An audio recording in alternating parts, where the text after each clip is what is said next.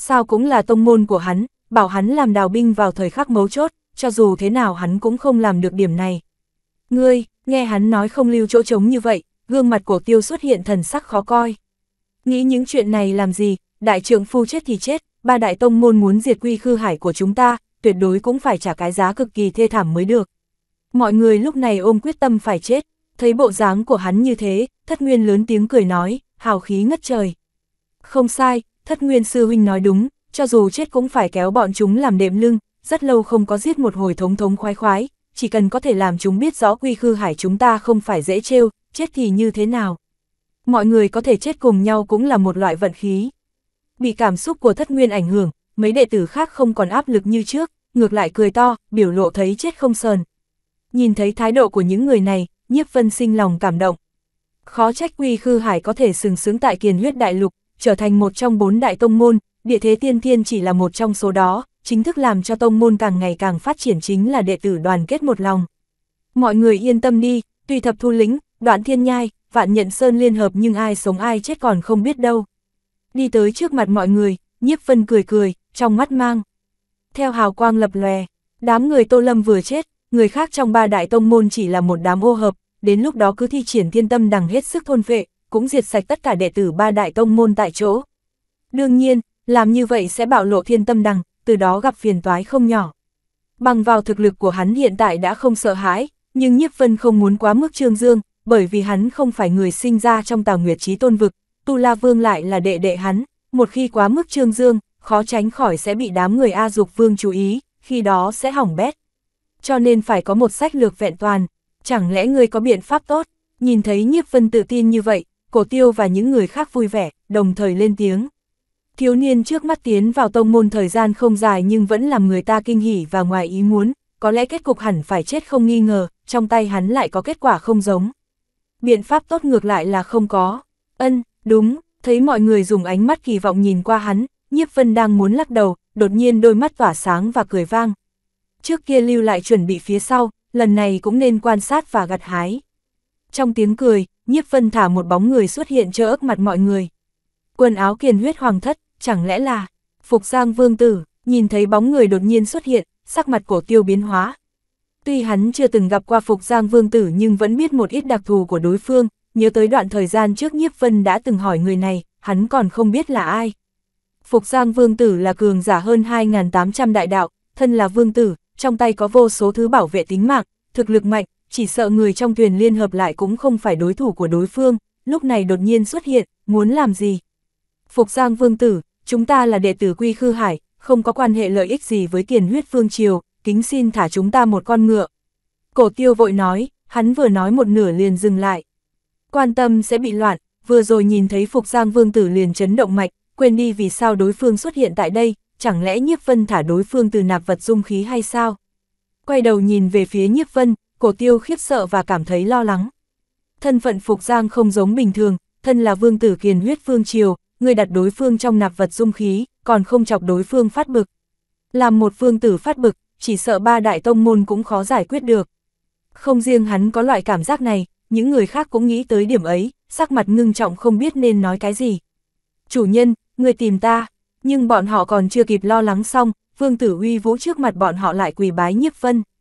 Chủ nhân, đem thu, phục giang vương tử làm người hầu, trước khi là hóa đá, lần này đám người cổ tiêu suýt phát điên. Phục Giang Vương tử thân phận địa vị tôn sùng, nghe nói là một trong những người cạnh tranh cực mạnh cho vị trí kiến huyết hoàng đế, nhân vật như thế bướng bỉnh khó thuần, không ngờ lại biến thành người hầu, biến hóa cực lớn làm đám người cổ tiêu có cảm giác thiên lôi đánh chúng, có cảm giác phát điên. Khốn kiếp, Vương cũng có thể thu làm người hầu, ngươi là A Dục Vương sao? Lúc này đám người cổ tiêu dùng ánh mắt nóng bỏng nhìn nhiếp vân. Bọn họ biết cổ ung tông chủ cũng không có được uy thế như vậy, thiếu niên trước mắt lại có thể làm được, rung động quá lớn. Ha ha, thấy mọi người dùng ánh mắt như thế nhìn mình, nhiếp vân xấu hổ cười một tiếng, hắn quay đầu nhìn sang Phục Giang. Đây là thiên tâm đằng, qua một lúc gặp người ba đại tông môn cứ tận lực chém giết, không cần lưu tình, có thể giết bao nhiêu thì giết bao nhiêu. Đây là chủ tể phù ấn, đầy đủ ngươi tiêu xài một thời gian ngắn. Ngón tay điểm một cái, thiên tâm đằng bay ra khỏi người hắn và tiến vào trên người Phục Giang Vương Tử. Thiên tâm đằng đã bị hắn luyện hóa hoàn toàn, cho dù trong thời gian ngắn thả lên người Phục Giang cũng không có khả năng lại nhận chủ, không cần lo lắng. Vâng, Phục Giang Vương Tử gật đầu, trên mặt mang theo mừng rỡ. Hiện tại hắn chỉ sợ nhiếp vân không để ý tới hắn, không phân phối nhiệm vụ cho hắn, giao thiên tâm đằng quý trọng như thế cho hắn, nói rõ có tín nhiệm. Ý kiến hay, thấy nhiếp vân giao thiên tâm đằng cho Phục Giang Vương Tử, bảo hắn đi đánh chết người ba đại tông môn, đám người cổ tiêu ban đầu còn không rõ lắm, về sau suy nghĩ ra liền tươi cười. Đây là biện pháp tốt nhất, bảo Phục Giang Vương Tử động thủ, tương đương dẫn mâu thuẫn lên người kiền huyết phương triều, thiên tâm đằng có Phục Giang yểm hộ, người khác cũng không thể liên tưởng lên người hắn. Và, chương 2201, Thiên tài chân chính. Chuyện được thực hiện bởi obookaudio.com Làm như vậy có thể cứu người quy khư hải, đánh chết cường giả ba đại tông môn và bảo toàn thực lực, che giấu át chủ bài, đây là kế sách ném một hòn đá trúng hai con chim. Thanh Diệp, Vạn Lực, Huyền Thiên, các người cũng đi theo sau lưng Phục Giang, ngụy trang thành yêu sủng của hắn, lúc này cùng động thủ với người ba đại tông môn. Sau khi bàn giao với Phục Giang Vương Tử, Nhiếp Vân quay đầu nhìn sang đám yêu sủng của mình. Bảo ba yêu sủng đi theo đối phương, thứ nhất có thể hủy diệt ba đại tông môn liên thủ, thứ hai cũng có thể làm Phục Giang Vương Tử quang đầu danh trạng, kiểm nghiệm ra hỏa này có phản bội hay không. Tuy hắn đã hiến tế linh hồn nhưng làm Vương Tử Kiền huyết Vương Triều sẽ có không ít thủ đoạn, nên phòng bị mới thỏa đáng. Vâng, ba đại vương giả thập tuyệt cổ địa gật đầu đồng ý, trong ánh mắt mang theo hưng phấn. Chúng đều là thần thú hiếu sát, có cơ hội đánh chết cường giả nhân loại, tuyệt đối là chuyện làm chúng cao hứng nhất. Âm ầm, trong lúc nói chuyện với nhau, phá thần chu lao ra khỏi gông cùng xiềng xích của thập tuyệt cổ địa, lúc này trở lại thần chi di tích. Thần chi di tích không có gì khác với lúc trước nhưng nhiếp vân lại có cảm giác như trải qua mấy đời. Hơn 10 ngày trước tiến vào thập tuyệt cổ địa, tuy thời gian không dài nhưng trải qua rất nhiều chuyện, thực lực gia tăng nhiều tới mức làm hắn cảm thấy không chân thật. Lúc tiến lên phía trước, thực lực của hắn gặp được cường giả 2.800 đại đạo chỉ có thể chạy trốn, chỉ có sử dụng chủ tể phù ấn mới có thể chiến đấu, mà bây giờ đừng nói cường giả 2.800 đại đạo, mặc dù là cường giả tông chủ ở trước mặt hắn cũng không khác gì con sâu cái kiến. Thậm chí chúa tể thần binh vừa xuất hiện, cường giả nửa bước chúa tể cũng có thể chém giết. Loại thực lực này đã có thể nói là đỉnh phong của Tào Nguyệt Trí tôn vực. Mau nhìn, thiệt nhiều thi thể, đều là đệ tử quy khư hải. Tốc độ của phá thần chu rất nhanh, chỉ trong nháy mắt đã xuyên qua trăm vạn dặm trong thần chi di tích, vô số thi thể lọt vào tầm mắt mọi người, thi thể nằm ngang trên mặt đất, mặt đất nghiền nát. Và mang theo vị đạo đặc thù, hiển lộ nơi này phát sinh chiến đấu vô cùng thảm thiết. Đám người cổ tiêu nhìn thấy cảnh này đều siết chặt nắm đấm, gương mặt run run mang theo hận ý. Trong những thi thể này có bộ phận rất lớn là hắn biết, đã từng là sư huynh đệ, lúc này đều biến thành thi thể, lửa giận có thể nghĩ. Nhìn thấy cảnh tượng này, nhiếp vân cũng không nói chuyện. Có người thì có tranh đấu, có tranh đấu thì có giang hồ, muốn sống lâu trên thế giới này chỉ có một phương pháp, đó là không ngừng làm bản thân mình mạnh hơn nữa. Những người này bị giết, chỉ có thể nói rõ một nguyên nhân, bọn họ chưa đủ mạnh. Bằng không sẽ chết trong tay kẻ khác, phía trước là phá vẫn sơn, người quy khư hải đang ở nơi đó. Phục Giang, phá thần chu cũng cho ngươi mượn dùng, ngươi và đám người thanh diệp chỉ cần nhìn thấy người ba đại tông môn thì lập tức chém giết, không nên lưu tình cảm làm gì. Nhiếp vân lại bàn giao một câu, nhìn về phía đám người cổ tiêu. Chúng ta một mình đi thôi, trước tìm được người quy khư hải sẽ nói sau. Ân, đám người cổ tiêu đồng thời gật gật đầu, vèo, bàn tay nhiếp vân cầm một chiếc cổ thuyền, đám người cổ tiêu cũng bay lên đó. Long chu cổ thuyền, nhiếp vân đạt được cổ thuyền ban đầu ở thiên địa lục đạo, trải qua nhiều năm luyện chế đã đạt tới cấp bậc hỗn độn thần binh thượng phẩm, tuy kém phá thần chu nhưng dùng đi đường sẽ không có vấn đề quá lớn. Hùng cổ, người cũng thiêu đa ám người phục giang đi, đi vào long chu cổ thuyền, nhiếp vân bàn giao với hùng cổ một câu. Thực lực hùng cổ đối mặt với ba đại vương giả, phục giang cũng không xuất chúng, nó có vô số thần dân, thanh khư cổ huyệt mạnh mẽ đâm tới uy lực cũng không nhỏ, bảo nó đi theo đám người phục giang cũng có tác dụng không nhỏ. Lại bảo hùng cổ đi theo phục giang, nhiếp phân cho ba đại vương cùng với hùng cổ một tấm chủ tể phù ấn, lúc này mới thay đổi long chu cổ thuyền bay thẳng về phía phá vẫn sơn. Ẩn nấp đại đạo, ẩn nấp thân thuyền, đứng ở đầu thuyền, tinh thần nhiếp phân khẽ động, hắn vận chuyển thiên phú ẩn nấp sư sau đó hào quang bao phủ thân thuyền, long chu cổ thuyền bị màn hào quang bao phủ, dường như lập tức mang theo mọi người biến mất triệt đề.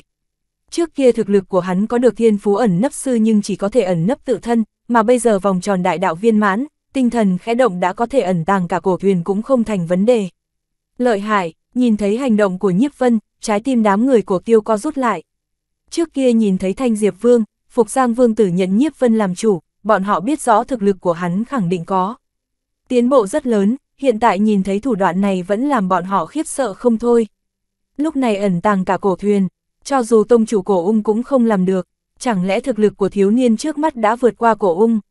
Không có khả năng, cho dù thiên phú của hắn rất mạnh, thời gian hơn 10 ngày cũng không có tiến bộ rất lớn như thế, tu luyện đại đạo chú ý tiến hành theo chất lượng, người càng lợi hại cũng không có khả năng tăng lên nhanh như thế. Cổ ung lắc đầu, cũng không tin phỏng đoán trong nội tâm. Cũng khó trách hắn nghĩ như vậy, cho dù tu luyện đại đạo có đốn ngộ cũng chỉ là một đầu đại đạo, hai đầu đại đạo, chưa từng nghe nói qua có người lĩnh ngộ mấy trăm đầu hơn một ngàn đầu đại đạo. Đây cũng không phải là tu luyện, mà là nghịch thiên. Có lẽ phía trước chính là phá vẫn sơn, mọi người cẩn thận, nơi này giống thập tuyệt cổ địa, mang theo nguy hiểm, muốn rời khỏi cổ thuyền phải nói với ta một tiếng. Vào lúc cổ tiêu đang nghi hoặc, chợt nghe ở đầu thuyền có tiếng nói vọng về, bọn họ nhìn thấy ngọn núi trước mặt.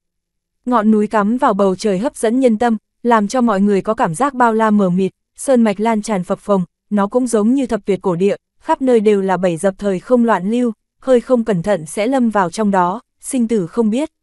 Nhiếp vân, thuyền chạy chậm một chút, nơi này quá nguy hiểm, ta sợ xảy ra vấn đề. Nhìn thấy đến nơi, ánh mắt cổ tiêu mang theo lo lắng. Nhiếp vân thúc giục long chu cổ thuyền quá nhanh, dựa theo loại tốc độ này thực gặp được nguy hiểm cũng khó có thể trốn tránh. chương 2202, mạnh mẽ đâm tới một. Chuyện được thực hiện bởi obookaudio.com không cần giảm tốc độ, nhẹ nhàng cười cười, tinh thần nhiếp phân khẽ động, lực lượng vòng tròn đại đạo bao phủ cả cổ thuyền. Âm âm, tuy bản chất long chu cổ thuyền chỉ là hỗn độn thần binh thượng phẩm nhưng bị lực lượng của hắn bao phủ còn đáng sợ hơn cả hỗn độn thần binh đỉnh phong, vô số thời không loạn lưu, không gian nghiền nát bị nghiền qua, căn bản không tạo thành uy hiếp gì. Này, này, nhìn thấy cảnh tượng như vậy, đám người cổ tiêu sững sờ tại chỗ. Cho tới giờ phút này, bọn hắn mới biết được thiếu niên trước mắt này đến cùng mạnh cỡ bao nhiêu. Xem ra suy nghĩ của ta sai rồi, thật sự có người nghịch thiên, không thể hiểu theo lẽ thường. Cổ tiêu cười khổ, hắn nhìn cảnh tượng trước mắt, phát hiện càng ngày càng xem không hiểu đối phương. Người khác hơn 10 ngày cho dù đốn ngộ, thực lực tối đa tăng trưởng một tia, hắn lại có thể biến hóa từng ngày, đây quả thật là chuyện không thể hiểu theo lẽ thường. Có lẽ đây mới là thiên tài chân chính trong miệng người khác thường nói. Tốc độ của Long Chu cổ thuyền bay nhanh, nó trực tiếp nghiền nát tất cả nguy hiểm của phá vẫn sơn, cũng không ngừng lại chút nào. Trung quanh ngọn núi không ngừng có nhiều bẫy dập, thời không gấp khúc làm người ta lâm vào trong đó giống như lâm vào mê cung, khó có thể đào thoát, nhiếp vân khống chế Long Chu cổ thuyền, bỏ qua thời không gấp khúc chung quanh, hắn tiến thẳng về phía trước, không có bất cứ thứ gì có thể ngăn cản cổ thuyền tiến lên. Thực lực của hắn tuyệt đối vượt qua cấp bậc tông chủ. Nhìn thấy cảnh này, cổ tiêu, thất nguyên nhìn nhau, lúc này bọn họ biết rõ thực lực chân chính của hắn, tuyệt đối vượt qua cấp bậc tông chủ. Cũng chỉ có loại thực lực này mới dám không quan tâm nguy hiểm trong phá vẫn sơn, mạnh mẽ xông tới không cố kỵ chút nào. Khó trách hắn bình tĩnh như thế, xem ra quy khư hải chúng ta lần này được cứu rồi. Cổ tiêu thì thào tự nói, ánh mắt mang theo hào quang hưng phấn. Trước kia nghe thấy ba đại tông môn vây công quy khư hải làm hắn có tâm tư chịu chết, định dùng nhiệt huyết hồi báo tông môn, nằm mơ cũng không nghĩ tới nhiếp vân sư đệ lại có thực lực như thế. Cường giả có thực lực này, cho dù cao thủ ba đại tông môn cũng không cần phải sợ. Mau nhìn phía trước, Long Chu cổ thuyền tiếp tục tiến lên phía trước, phá vẫn sơn phi. Hành gần nửa ngày, thất nguyên chỉ về phía trước, nhìn theo hướng ngón tay hắn đang chỉ, một ngọn núi với mây đen rậm rạp, vô số lực lượng đang hội tụ như mưa to, kiếm khí, đao khí, trận pháp, tiên lực. Đủ loại lực lượng giống như mây đen ngưng tụ thành hình ảnh làm người ta sợ hãi. Cho dù đệ tử ba đại tông không đủ nhưng số lượng rất nhiều, hơn nữa bọn họ chỉnh hợp vô số tán tu, ngàn vạn người đồng thời ra tay, cho dù cường giả cường giả nửa bước chúa tể tùy tiện đụng vào cũng phải nuốt hận tại chỗ. Lực lượng của hắn cường đại không có lửa làm sao có khói, nếu như không phải như vậy, vạn lực vương cũng làm người ta biến sắc. Bị nhiều người vây công như thế, bên trong nhất định là người quy khư hải, chúng ta làm sao bây giờ? Nhìn thấy cảnh tượng như vậy, tất cả mọi người đem ánh mắt tập trung ở nhiếp vân trên người. Trước kia cổ tiêu bảo bọn họ nghe theo nhiếp vân, bọn họ còn cho rằng người trẻ tuổi như thế chưa đủ hiệu lệnh bọn họ, mà bây giờ nhìn thấy thực lực của hắn cho nên sớm ném suy nghĩ này ra khỏi đầu. Thế giới tu luyện vẫn dựa vào thực lực nói chuyện, không có thực lực, tất cả đều là giả. Không có gì, trực tiếp giết vào là được. Nhiếp Vân cười nhạt một tiếng, tinh thần khẽ động, long chu cổ thuyền xông thẳng về phía trước. Sau khi chọn được hướng sông tới, ẩn nấp sẽ không hiệu quả, cổ thuyền to lớn xé rách không gian lao đi. Két, âm thanh xé rách không gian vang vọng bốn phía. Mau nhìn, một chiếc cổ thuyền, xem bộ dạng nó là viện binh của Quy Khư Hải, ha ha, có thể xuất ra cổ thuyền lợi hại như thế, giá trị con người xa xỉ a. Mọi người cùng nhau động thủ, chỉ cần đem những người này chết thì tất cả sẽ là của chúng ta. Tình huống này còn dám tới, quả thực không biết sống chết. Những thứ này là của ta, các ngươi không nên đoạt với ta, lần này thật phát đạt rồi. Không phải ma quỷ mà thôi, ta cũng muốn phân một số canh. Nhìn thấy cổ thuyền lao thẳng tới, vô số ý niệm bay tán loạn, vốn rất nhiều người đang vây công như nhìn thấy miếng thịt ngon nên xông thẳng tới. Những người này đa số có thực lực 2.000 đại đạo, hơn trăm người đồng thời vọt tới, không gian sinh ra tiếng rít chói tai, khí lãng cường đại làm cỏ cây chung quanh biến thành bụi phấn. Nếu đã tới thì đi chết đi, lúc này đám người mạnh nhất lao thẳng về phía trước, hai mắt của hắn mang theo hào quang hưng phấn tiến lên. Âm ầm, hai tay của hắn đánh thẳng về phía trước, chỉ cần đánh chết người trong cổ thuyền, ai ngờ lực lượng còn không có đụng phải cổ thuyền đã bị lực lượng cường đại hơn giáng thẳng xuống, ngay sau đó hắn cảm thấy lực lượng hủy thiên diệt địa từ trên cao nghiền xuống. Bành, tiếng kêu hưng phấn bê ến thành sợ hãi, tiếng kêu thảm chưa kịp vang lên đã hóa thành thịt nát. Xoẹt xoẹt, xoẹt xoẹt, long chu cổ thuyền to lớn nghiền chết vô số người, nó không dừng lại mà vẫn tê ến lên phía trước, vô số người ngăn cản không kịp thoát đi sẽ có cảnh tượng xe lu cắn qua con chuột, không ai có thể ngăn cản cổ thuyền, những kẻ mưu toan làm thế đều bê ến thành thịt nát. Cổ thuyền này thật lợi hại, mọi người không nên tùy tiện xông lên, đồng loạt ra tay. Có thể có tư cách đi vào thần chi di tích cũng không phải kẻ ngu dốt, nhìn thấy chết nhiều người như vậy, nếu còn không biết cổ thuyền cường đại thì những kẻ này quá ngu xuẩn. Hắn vừa la lớn và được nhiều người hưởng ứng, mọi người đồng thời ra tay, lực lượng cường đại hóa thành bàn tay lớn đánh thẳng vào cổ thuyền. Bàn tay mang theo đường vân rõ ràng, mang theo dấu vết đại đạo, không gian bị bàn tay đánh nát. Nhiều người liên thủ hình thành bàn tay như thế, mặc dù cường giả hơn 2.800 đại đạo đụng phải cũng bị đánh thành bánh thịt nhưng đáng tiếc gặp được nhiếp vân. Oanh, cũng không thấy nhiếp vân có động tác gì, bàn tay đến nhanh, đi nhanh hơn, ngay sau đó nó nện thẳng vào trong đám người, chỉ trong nháy mắt có hơn trăm người chết, ngay cả linh hồn cũng không có tư cách thoát đi. Cái gì, rốt cuộc xảy ra chuyện gì? Hắn là ai? Tại sao mạnh như vậy? Nhìn thấy cảnh này làm mọi người như sắp điên lên. chương 2203, mạnh mẽ đâm tới khai Chuyện được thực hiện bởi obookaudio.com Trong mắt bọn họ xem ra, quả nhiên chiếc cổ thuyền này vô địch, nhiều người liên thủ ra tay nhưng không thể làm gì đối phương, còn bị phản kích, đánh sống đánh chết, rốt cuộc là ai điều khiển cổ thuyền. Tiếp tục đi về phía trước, đánh chết đám tôm tép nhãi nhép, nhiếp vân không dừng lại, khống chế lực lượng cổ thuyền tiến lên, lúc này gió tanh mưa máu bộc phát, không có bất kỳ người nào có thể ngăn cản mảy may. Đối diện thực lực tuyệt đối, tất cả thủ đoạn âm mưu biến thành trò cười.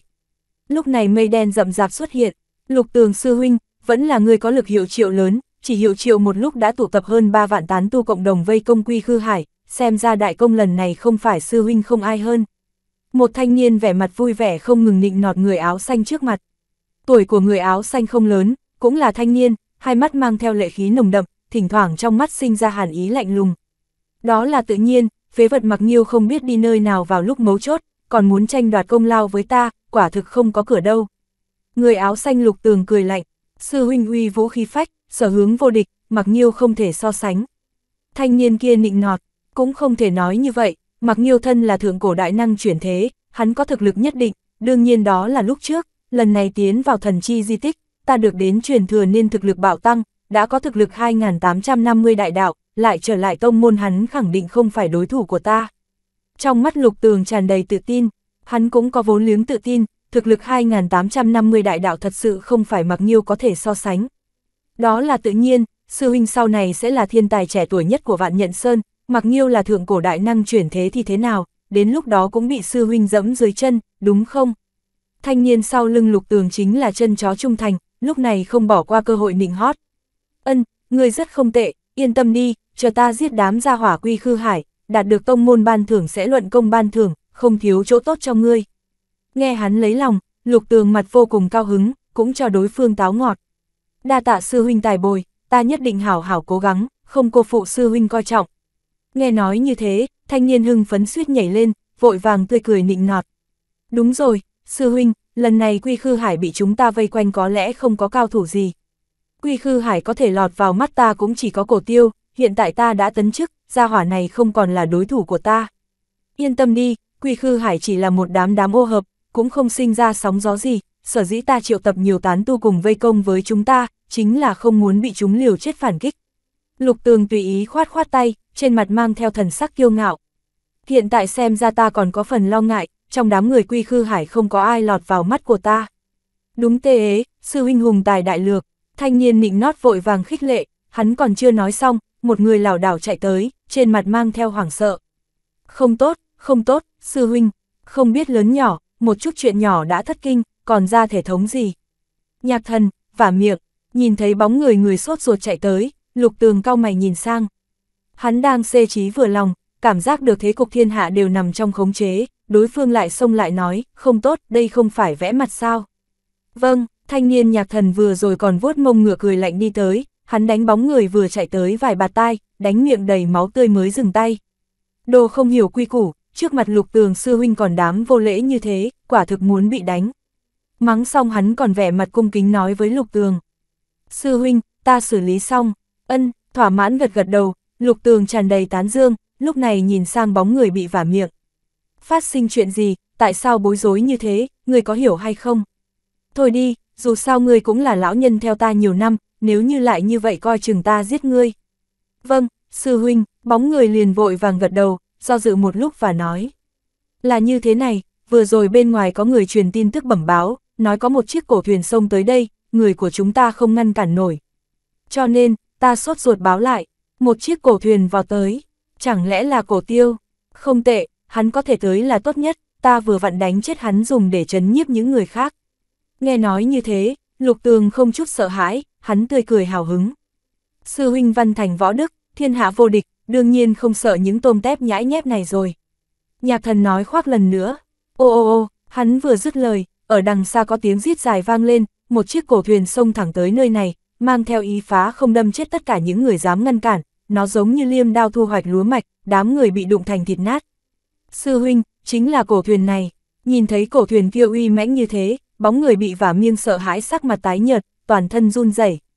Thứ không có tiền đồ, một tiểu thuyền mà sợ như thế, xem ta hiện tại bắt người bên trong đây, ta sẽ cho cá người biết rõ đâm thẳng ở nơi này chỉ có ta nói mới tính toán. Cười lạnh một tiếng, lục tường đứng dậy, hắn tung người nhảy lên cao, bay lên không trung, khí thế toàn thân quay cuồng như bá vương. Vèo, một thanh trường thương xuất hiện trong lòng bàn tay, tiên lực bành trướng bắn ra từ lỗ chân lông, trong nháy mắt dường như cả thiên địa chỉ còn lại có một mình hắn, anh Tuấn nói không nên lời. Bộ dáng của ngươi không có tiền đồ như vậy, có lục tường sư huynh ở đây, như quỷ xà thần không thể chịu nổi một kích.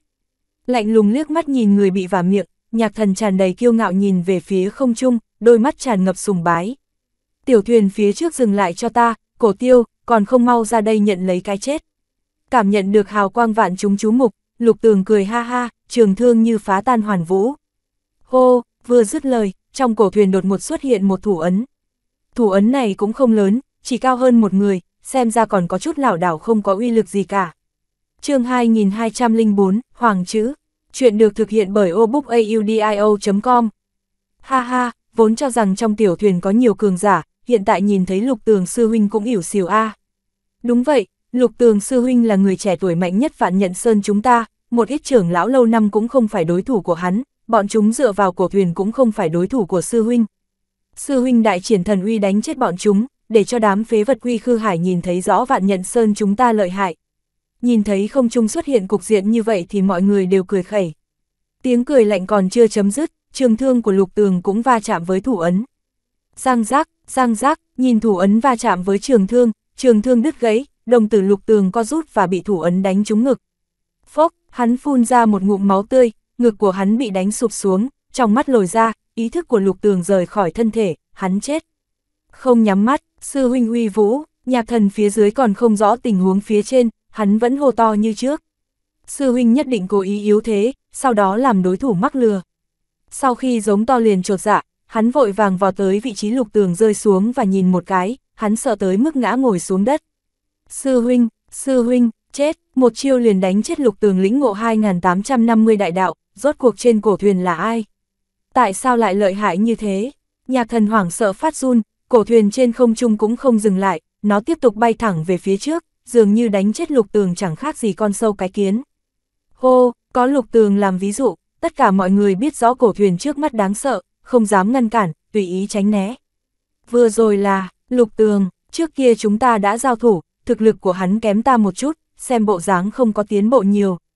Trong lòng chu cổ thuyền, cổ tiêu nhìn thấy lục tường bị đánh thành bánh thịt liền run run. Vừa rồi nhiếp vân ra tay tốc độ quá nhanh, cũng không có bất kỳ phản kháng gì cả, mặc dù cổ tiêu biết đối phương bị một tát chụp chết nhưng lại không biết có thực lực gì. a gia hỏa vừa rồi có thực lực 2.850 đại đạo. Nhiếp Vân Thuận miệng nói, 2.850 đại đạo, mọi người lông nghi nhảy dựng, mặc dù biết lục tường khẳng định tiến bộ rất lớn, lại không nghĩ rằng đáng sợ như thế. 2.850 đầu đại đạo, các đệ tử quy khư hải đang bị đối phương vây bên trong. Là đám người độc triệu, không bị ai ngăn cản, cổ thuyền tiến nhanh về phía trước, một lát sau đã nhìn thấy một đám đệ tử quy khư hải đang đứng giữa ngọn núi, cũng nấp trong trận pháp cực lớn, sắc mặt bọn họ tái nhợt giống như đã dùng hết lực lượng toàn thân, lại tiếp tục nữa sẽ không kiên trì nổi. Nhiếp Vân nhìn sang, quả nhiên trong đám người nhìn thấy mấy người quen. Lúc trước độc triệu cùng đi theo hắn vào thần chi di tích, bởi vì sợ hãi đi thập việt cổ địa mà sản sinh chia rẽ cho nên mang đám người còn lại rời đi, không nghĩ tới bị nhốt tại đây, xem ra lực lượng đã tiêu hao không sai biệt lắm, tùy thời lâm vào cảnh dầu cạn đèn tắt. Sư huynh, chúng ta sắp không kiên trì nổi, đám người độc triệu trong trận pháp liên tục run rẩy, gương mặt khó coi.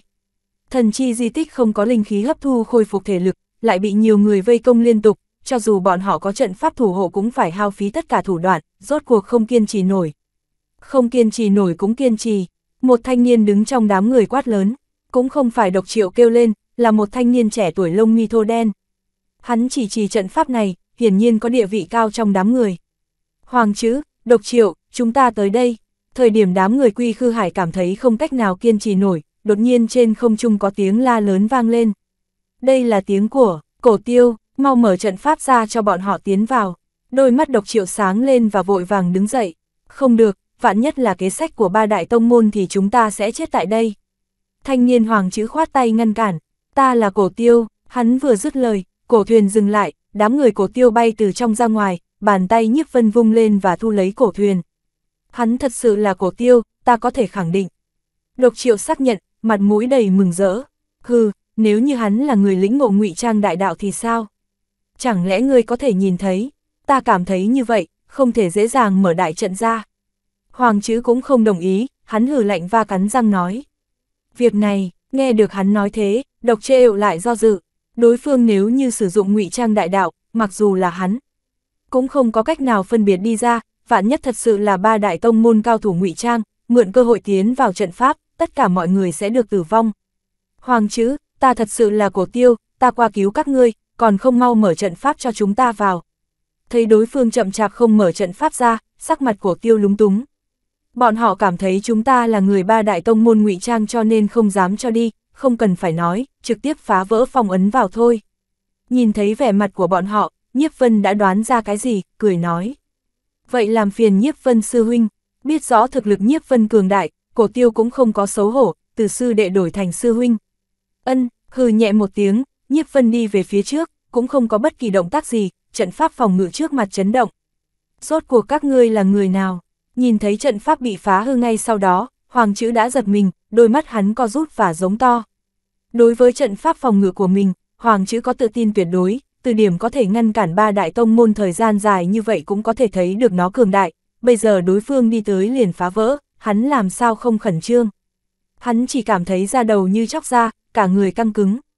Ta thật sự là cổ tiêu, hoàng chữ, tại sao ngươi không nhận ra? Ta, phá vỡ trận pháp, cổ tiêu theo sát phía sau đi tới, nhìn thấy bộ dạng của hắn liền im lặng. Thật sự là cổ tiêu, thấy đám người cổ tiêu sau khi phá vỡ trận pháp đi tới nhưng không công kích, hoàng chữ tin tưởng vài phần, nếu là người tông môn khác, có được năng lực tùy ý phá trận cũng không cần phải ngụy trang. chương 2205, vẽ mặt, chuyện được thực hiện bởi obookaudio.com Ân, nghe nói các người bị vây công, cố ý tới cứu các ngươi, chúng ta nhanh rời đi thôi. Thấy thái độ của đối phương hòa hoãn, cổ tiêu nói. Rời đi, rời đi thế nào, nơi này bị bao vây ba vòng trong ba vòng ngoài, muốn chạy đi quá khó khăn. Hoàng chữ lắc đầu, nếu quả thật dễ dàng chạy đi như vậy, bọn họ đã sớm trốn đi cũng không cần chờ tới bây giờ. Mọi người lên thuyền, ta mang các ngươi rời đi. Nhiếp Vân tươi cười tiến lên, vị này là ai? Hoàng chữ nhíu mày một cái. Tuy Nhiếp Vân là đệ tử hạch tâm đệ nhất nhân nhưng hắn thân là một thành viên đệ tử trưởng giáo, quanh năm bế quan cho nên không gặp qua. Vị này chính là Nhiếp Vân, là hạch tâm đệ nhất nhân 712 phong lần này. Cổ tiêu còn chưa lên tiếng, độc triệu giới thiệu, hạch tâm đệ nhất nhân 712 phong. Hừ, nơi này không có phần để ngươi nói chuyện, đừng tưởng rằng có thể trở thành hạch tâm đệ nhất nhân sẽ có cái gì khó lường, tình huống bên ngoài phức tạp hơn ngươi nghĩ nhiều. Nghe được là hạch tâm đệ nhất nhân điện 712 phong, hoàng chữ lơ đánh. Bọn họ có thể trở thành đệ tử trưởng giáo cho nên từng là hạch tâm đệ nhất nhân, cho nên đối với đệ tử hạch tâm khác mà nói đã vô cùng lợi hại, đối với đệ tử trưởng giáo mà nói không có gì đáng quan tâm.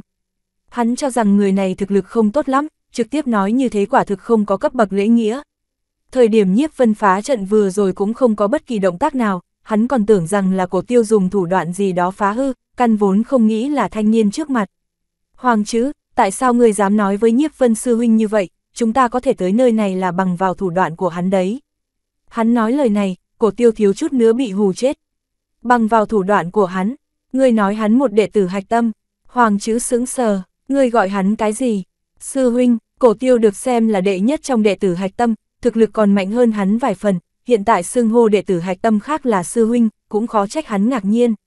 Ân, vị này là nhiếp vân sư huynh, thực lực mạnh hơn ta quá nhiều, hắn hoàn toàn có thể mang bọn ta rời khỏi nơi đây. Cổ tiêu vội nói, tốt, tốt, do dự một lúc, hoàng chữ gật đầu, lúc này cũng không có biện pháp khác, hắn cũng tin phục cổ tiêu nói, cho nên lựa chọn tin tưởng.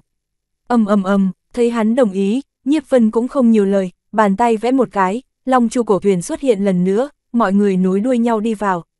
Cổ tiêu sư huynh, các ngươi, thực đi thập tuyệt cổ địa, đi vào trên thuyền, đám người độc triệu đi tới, bọn họ gương mặt đỏ bừng nhìn đám người cổ tiêu.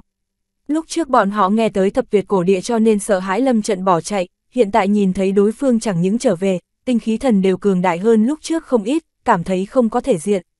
Ân, chẳng những trở lại, còn có được vô số bảo bối, người xem. Thất Nguyên không có tính tình tốt như cổ tiêu, lúc trước độc triệu rời đi đã làm hắn tức giận, lúc này có cơ hội làm đối phương mất mặt sao có thể bỏ qua, bàn tay run lên, ngay sau đó vô số bảo vật xuất hiện. Nhìn xem, đó là hỏa diễm tinh kim thạch, là bảo vật luyện chế hỗn độn thần binh đỉnh phong. Đạo đạo chi diệp, là bảo vật vô thượng có ẩn chứa đại đạo trong đó, nghe nói tông chủ lúc trước phái người đi tìm nhưng không tìm được. Cụ phong chi thủy, có thể tinh hóa linh hồn, quá mạnh mẽ, có những vật này, tu vi của bọn họ sẽ đến nhanh, dùng không bao lâu sẽ bỏ xa chúng ta. Nhìn thấy thất nguyên có nhiều bảo vật như thế, tất cả mọi người khiếp sợ không thôi, lúc này mở to mắt nhìn.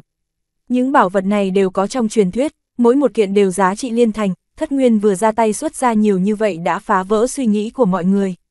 Đều, đều là đạt được trong thập tuyệt cổ địa, thấy có nhiều bảo vật như thế, đám người độc triệu ngạc nhiên sau đó biến thành khổ sở. Không phải lúc trước bọn họ nhát gan, hiện tại những bảo vật này có phần của bọn họ, mà lúc này chỉ có thể trông mà thèm, cũng không chiếm được món nào. Đúng rồi, cổ tiêu, thất nguyên, những hỗn độn thần binh đỉnh phong này đều ta ngoài ý muốn đoạt được, vẫn quên cho các ngươi, nhanh nhận chủ đi. Biết rõ suy nghĩ của thất nguyên, nhiếp vân nhẹ nhàng cười cười, ngón tay điểm một cái, vài món hỗn độn thần binh đỉnh phong bay ra khỏi lòng bàn tay của hắn và rơi vào trong tay đám người cổ tiêu. Những thần binh này đều dọa được trên người đám Phục Giang, Tô Lâm, với hắn mà nói đã không có tác dụng quá lớn, còn không bằng thừa cơ đền đáp. Dùng hỗn độn thần binh đỉnh phòng làm lễ vật tặng đi. Sớm biết như vậy ta cũng đi thập việt cổ địa, đám người độc triệu mất đi cơ hội tốt nhất, nếu như theo chân bọn họ chẳng những đạt được nhiều bảo bối như thế, còn có thể đạt được một kiện hỗn độn thần binh đỉnh phong, đáng tiếc. Hiện tại không chiếm được cái gì, những người khác cũng nhìn ra xảy ra chuyện gì, lúc này nghị luận liên tục. Phốc, nghe nói như thế đám người độc triệu vốn bị thương, lúc này nộ hỏa công tâm làm sao chịu nổi, đồng thời phun máu tươi và uể oải ngã xuống đất. Lúc này bọn họ không cần nghe người khác nói, bọn họ biết sai rồi. Trong lúc nguy cấp không để ý đạo nghĩa, chỉ vì chính mình chắc chắn sẽ không có kết cục tốt. Không để ý tới đám người độc triệu bị thương, nhiếp vân quay đầu đi, tiếp tục thúc giục long chu cổ thuyền đi về phía trước. Đối với đám người vong ân phụ nghĩa quay lưng vào lúc mấu chố, hắn cũng không có bất kỳ hảo cảm gì. Thất Nguyên từng nói qua, lúc trước cổ tiêu cứu mạng độc triệu, hiện tại gặp nguy hiểm lại đối phương buông tha cứu cổ tiêu, nếu như không phải cảm thấy bẩn tay thì hắn sớm giết kẻ này. Âm ầm, long chu cổ thuyền mới bay không xa, chợt nghe sau lưng có tiếng oanh minh vang lên, lúc này đám người hoàng chữ nhìn thấy cảnh tượng cả đời khó quên. Một bóng người đứng trong vòng vây, toàn thân đều có dây leo phủ kín, dây leo tới đâu cũng hút khô mọi người thành thây khô. Phía sau bóng người còn có vài đầu thần thú tấn công, chỉ cần đi ngang qua sẽ có vô số đầu người bay xuống đất, tu sĩ ba tông môn và tán tu vây công bọn họ lúc trước bị chém giết gần một nửa trong vài giây. chương 2206, Trần Viễn Tướng Quân 1 Chuyện được thực hiện bởi obookaudio.com Đám người còn lại cũng biết sợ, tất cả hoảng hốt bỏ chạy khắp bốn phía, còn chưa đi xa đã bị con kiến lớn bao phủ, biến thành đồ ăn trong bụng chúng. Đã xảy ra chuyện gì? Toàn thân đám người hoàng chữ run rẩy cảnh tượng trước mặt quá đáng sợ, hoàn toàn vượt xa bọn họ tưởng tượng. Ta cũng không biết, bọn họ có thể giết chết người ba đại tông môn hẳn là bằng hữu. Cổ tiêu biết rõ nhiếp vân cố ý bảo Phục Giang ra tay, hẳn không muốn người ta biết rõ nên chuyển đầu mâu đi, lúc này lắc đầu giả bộ như không biết Phục Giang. Bằng hiếu, Hoàng chứ có chút không dám tin tưởng, khi nhìn thấy Phục Giang giết sạch người ba đại tông môn liền rời đi, cũng không khó xử bọn họ cho nên hắn tin cổ tiêu nói thật. Dường như đó là kiền huyết phương triều Phục Giang vương tử. Ta từng gặp qua một lần, không nghĩ tới hắn cứu chúng ta. Đột nhiên trong đám người có kẻ nhận ra Phục Giang. Phục Giang vương tử, tại sao kiền huyết vương triều phải cứu chúng ta? Ta cũng không biết, nhìn mấy thần thú của hắn chắc là yêu sủng, thật lợi hại. Nghe được là Phục Giang Vương Tử đánh chết đệ tử ba đại tông môn, đám người hoàng chữ đưa mắt nhìn nhau, cũng không rõ xảy ra chuyện gì. Quan hệ giữa Quy Khư Hải và Kiền Huyết Vương Triều cũng không được tốt lắm, tại sao đối phương có thể mạo hiểm đắc tội ba đại tông môn để cứu bọn họ chứ? Ha ha, hắn làm như vậy khẳng định có mục đích của mình, người Quy Khư Hải chúng ta còn hay không? Đang ở nơi nào, chúng ta đi cứu bọn họ. Cổ tiêu cũng không giải thích, nhìn về phía đám người hoàng chữ và nói. Còn có những người khác, hoàng chữ đang muốn nói chuyện, đột nhiên trên không trung có khí lưu xuất hiện, bầu trời chấn động như nổ tung. Lần thần chi thí luyện này sắp đóng cửa, thỉnh tất cả đệ tử trong di tích quay về. Giọng nói vang vọng bên tai mọi người như sấm sét, quay về, lúc này mới bao nhiêu thời gian, không phải nói 3 tháng sao? Đúng vậy, mỗi lần thần chi di tích thí luyện đều là 3 tháng, hiện. Tại cũng đã qua nửa nhiều tháng, làm sao lại phải đi về? Đã xảy ra chuyện gì? Nghe nói như thế tất cả mọi người đều sững sờ. Dựa theo tình huống bình thường, thần chi di tích đều mở ra 3 tháng, hiện tại hơn nửa tháng một chút, muốn mọi người trở về, có phải quá không hợp lẽ thường hay không? Như vậy trở về là tốt nhất, bằng không sẽ bị vây công, sẽ không may mắn như vậy. Đúng thế a ba đại tông môn đồng thời phát động tấn công quy khư hải chúng ta, chuyện này phải bẩm báo tông chủ. Tuy khiếp sợ và kỳ quái nhưng mọi người lại cảm thấy may mắn. Bây giờ có thể đủ trở về, vừa vặn có thể tránh được ba đại tông môn vây giết, xem như lợi nhuận, bằng không vẫn ở lại nơi này, sớm muộn gì còn gặp được người khác của ba đại tông môn, lần này có thể gặp được Phục Giang Vương Tử đánh chết đối phương, lần sau sẽ không có vận khí tốt như vậy. Sư huynh, chúng ta làm sao bây giờ? Nghe nói như thế, cổ tiêu biết rõ những người khác không cần cứu cũng an toàn không sai biệt lắm, đều nhìn về phía nhiếp vân. Người mang theo những sư huynh đệ này về trước đi, ta sẽ đi ra sau.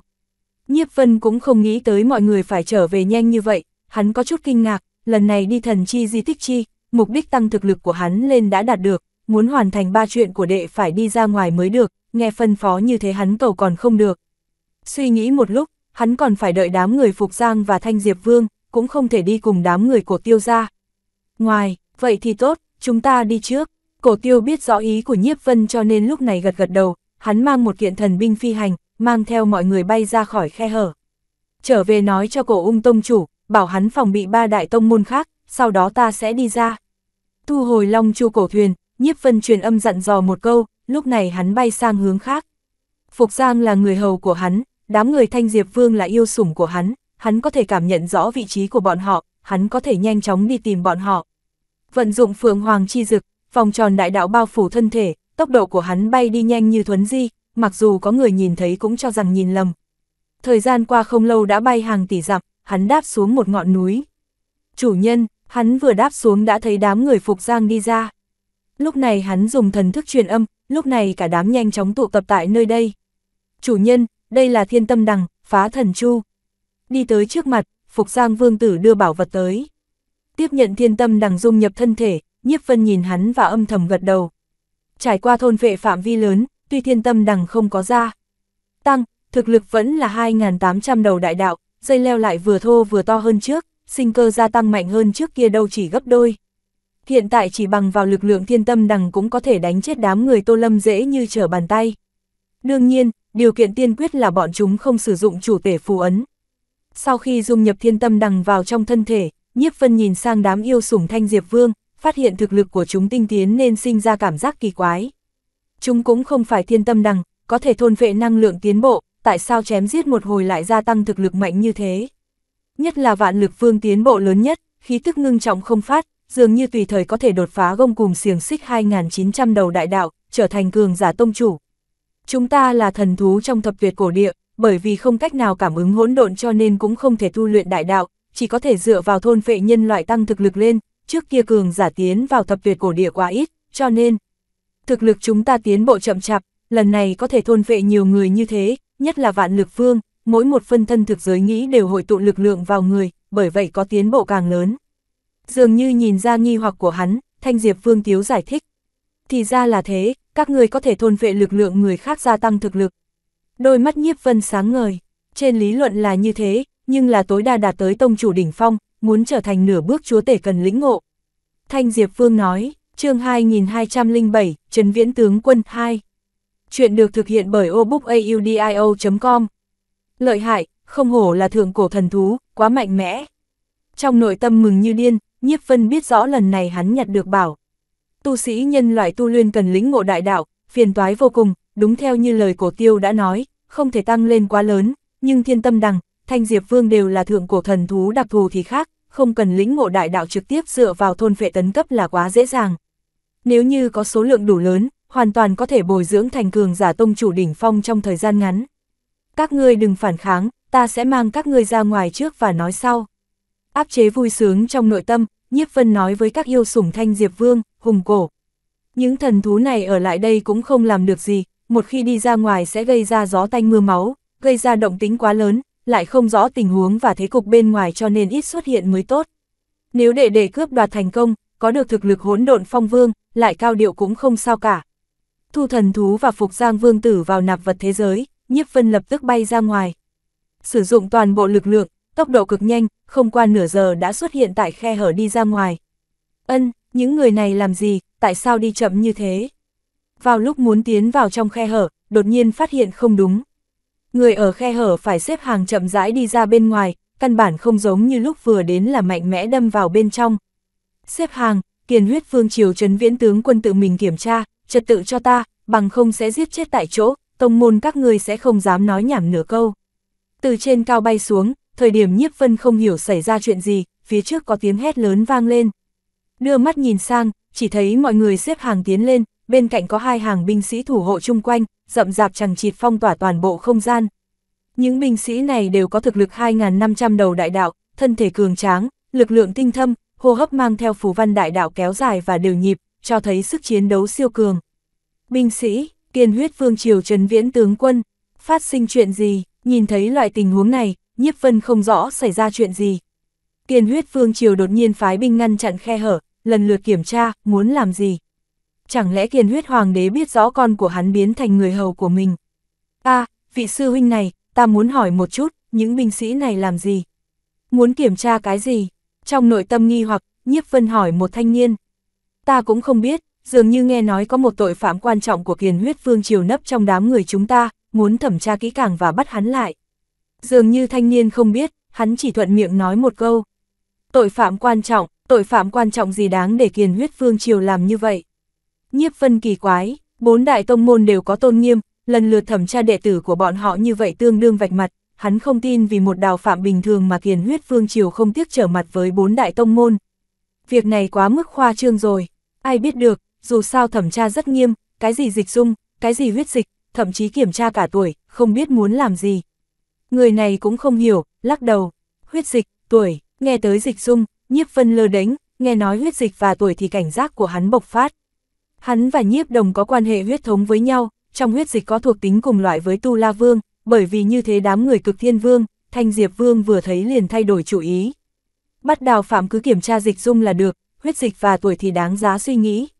Không nói tới huyết dịch, chỉ nói tuổi, tính toán ra hắn tu luyện tới hiện tại mới hơn 3 vạn năm, tuổi như vậy mà có thực lực cao như hắn, một khi bị điều tra ra, tất nhiên sẽ thành đối tượng nghiên cứu của kẻ khác, phiền toái không ít. Phục Giang, Kiên huyết phương triều của các người có trấn viễn tướng quân hay không? Trong nội tâm nghi hoặc, lặng lẽ truyền âm hỏi Phục Giang vương tử trong nạp vật thế giới. Đúng thế, trấn viễn tướng quân là tâm phúc bên cạnh phụ thân của ta, thực lực tông chủ đỉnh phong 2.900 đầu đại đạo. Phục Giang vương tử nói, hiện tại hắn đang ở lối ra thần chi di tích và mang theo trọng binh canh gác, nói phải tìm được tội phạm quan trọng. Người có thể liên hệ với hắn hay không, hỏi xem xảy ra chuyện gì. Nhiếp Vân nói tiếp, có thể liên hệ, Ngươi chờ một chút. Phục Giang Vương Tử cầm một ngọc bài sau đó truyền tin tức vào bên trong, tin tức này không cách nào truyền ra khỏi nạp vật thế giới, bởi vì nhiếp vân cho đi nên mới có thể truyền ra bên ngoài. Hô, một lát sau có tin tức truyền trở về, Phục Giang Vương tử cao mày. Bẩm chủ nhân, là mệnh lệnh của Phụ Hoàng, nói phải tìm một người, cụ thể là ai, cũng không nói tỉ mỉ, chỉ nói ba điều kiện, thứ nhất, khí tức linh hồn mang theo tử vong. Thứ hai, am hiểu sử dụng kiếm, tiến bộ rất nhanh. Thứ ba, vận mệnh không cách nào suy tính, những phần khác Phụ Hoàng không có nói tỉ mỉ, hắn cũng không biết. Phục Giang Vương Tử nói, khí tức giết chóc, am hiểu sử dụng kiếm, xem ra đang tìm nhiếp đồng, nhiếp vân dùng mình, có thể phù hợp điều kiện này chỉ có đệ đệ nhiếp đồng, chính là Tu La Vương, xem ra A Dục Vương đã biết rõ nhiếp đồng tiến vào tà nguyệt trí tôn vực, hơn nữa chuẩn bị ra tay. Nhưng bởi vì vận mệnh của nhiếp đồng không cách nào suy tính, mặc dù mạnh như phong vương cũng không thể tìm ra vị trí của hắn, từ đó kiền huyết vương triều dùng loai thủ đoạn này tiến hành điều tra. Một khi bị điều tra ra, tất nhiên sẽ bị bắt trở về, đưa tới trước mặt A Dục Vương thì mọi chuyện đã muộn rồi. Phục Giang, hiện tại ta là tùy tùng cửu chiêu của ngươi, mang ta ra ngoài. Tinh thần khẽ động, hắn thả Phục Giang ra khỏi nạp vật thế giới sau đó điều động ngụy trang chi khí của bản thân, hắn biến thành bộ dạng khác, chính là thuộc hạ của Phục Giang Vương Tử, cửu chiêu. Tuy nhiếp đồng đang ở trong thiên huyền điện, đối phương không nhất định có thể phát hiện nhưng cẩn thận một chút mới tốt, đối phương thân là một vương triều, tất nhiên có được rất nhiều thủ đoạn, vạn nhất bị tra ra cái gì, muốn đi cũng khó khăn. Hô, Phục Giang Vương Tử rời khỏi nạp vật thế giới sau đó đi cách hắn không xa. chương 2208, Chư Cát Lăng, chuyện được thực hiện bởi obookaudio.com. Nhiếp Vân đứng đằng sau đám người, lại thi triển một ít thủ đoạn, động tác rất nhỏ cho nên không làm ai chú ý. Vâng, chủ nhân, Phục Giang Vương Tử biết rõ ý của hắn, hắn nhìn cảnh vật chung quanh, nhìn thấy người xếp hàng và binh lính, hắn mang theo nhiếp vân bước nhanh ra bên ngoài. Người nào, lui vào xếp hàng, nếu lại đi về phía trước thì chúng ta sẽ động thủ. Một binh sĩ thấy hắn chen ngang cho nên hét lớn, thái độ hung hãn.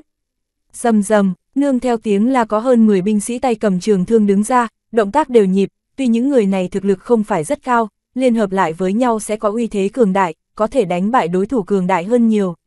Binh sĩ kiền huyết vương triều đều am hiểu đánh hợp kích và liên thủ với nhau, có thể liên hợp cùng một chỗ và phát huy 100% tới 230% sức chiến đấu.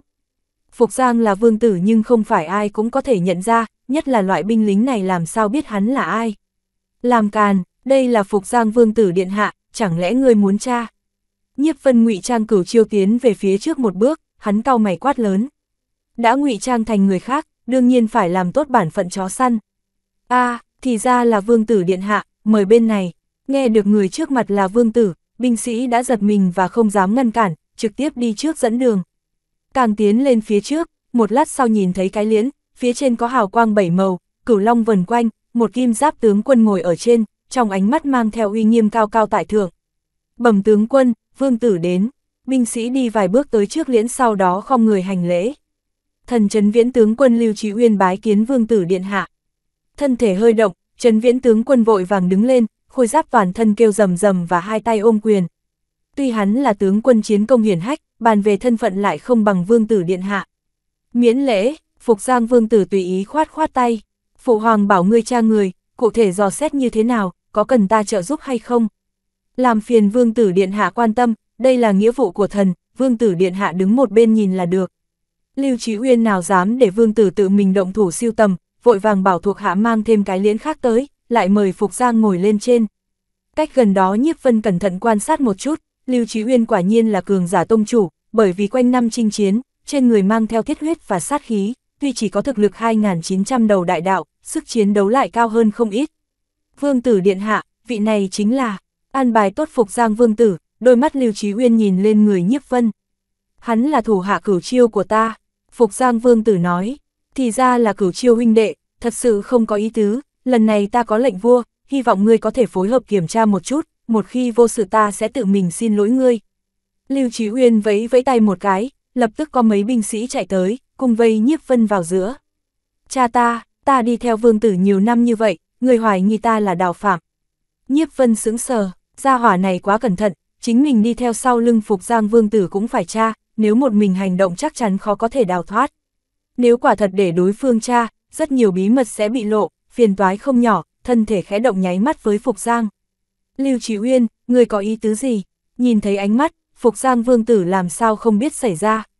Chuyện gì? Hắn cau mày đứng dậy, ánh mắt tức giận. Điều tra người của hắn tương đương không tin hắn, khiêu chiến uy nghiêm của hắn. Kính xin vương tử thứ lỗi, ta cũng phụng mệnh làm việc, mỗi người đều phải tra kỹ càng, không thể buông tha dấu vết nào. Ta ấy thái độ của Phục Giang vương tử, Lưu Trí Uyên vội vàng giải thích. Tuy thực lực của hắn mạnh hơn vương tử trước mắt nhưng thân phận đối phương hiển hách, lại là con ruột của hoàng đế cho nên hắn không dám quá phận. Không thể buông tha dấu vết nào, vậy có phải cũng nên tra cả ta một lần hay không? Tốt, bây giờ ta đứng đây, người phái người tới cha ta đi, nếu như điều tra ra ta là đào phạm, có thể bắt ta đi, nếu cha không ra, coi chừng ta lật tung liễn xe của ngươi lên.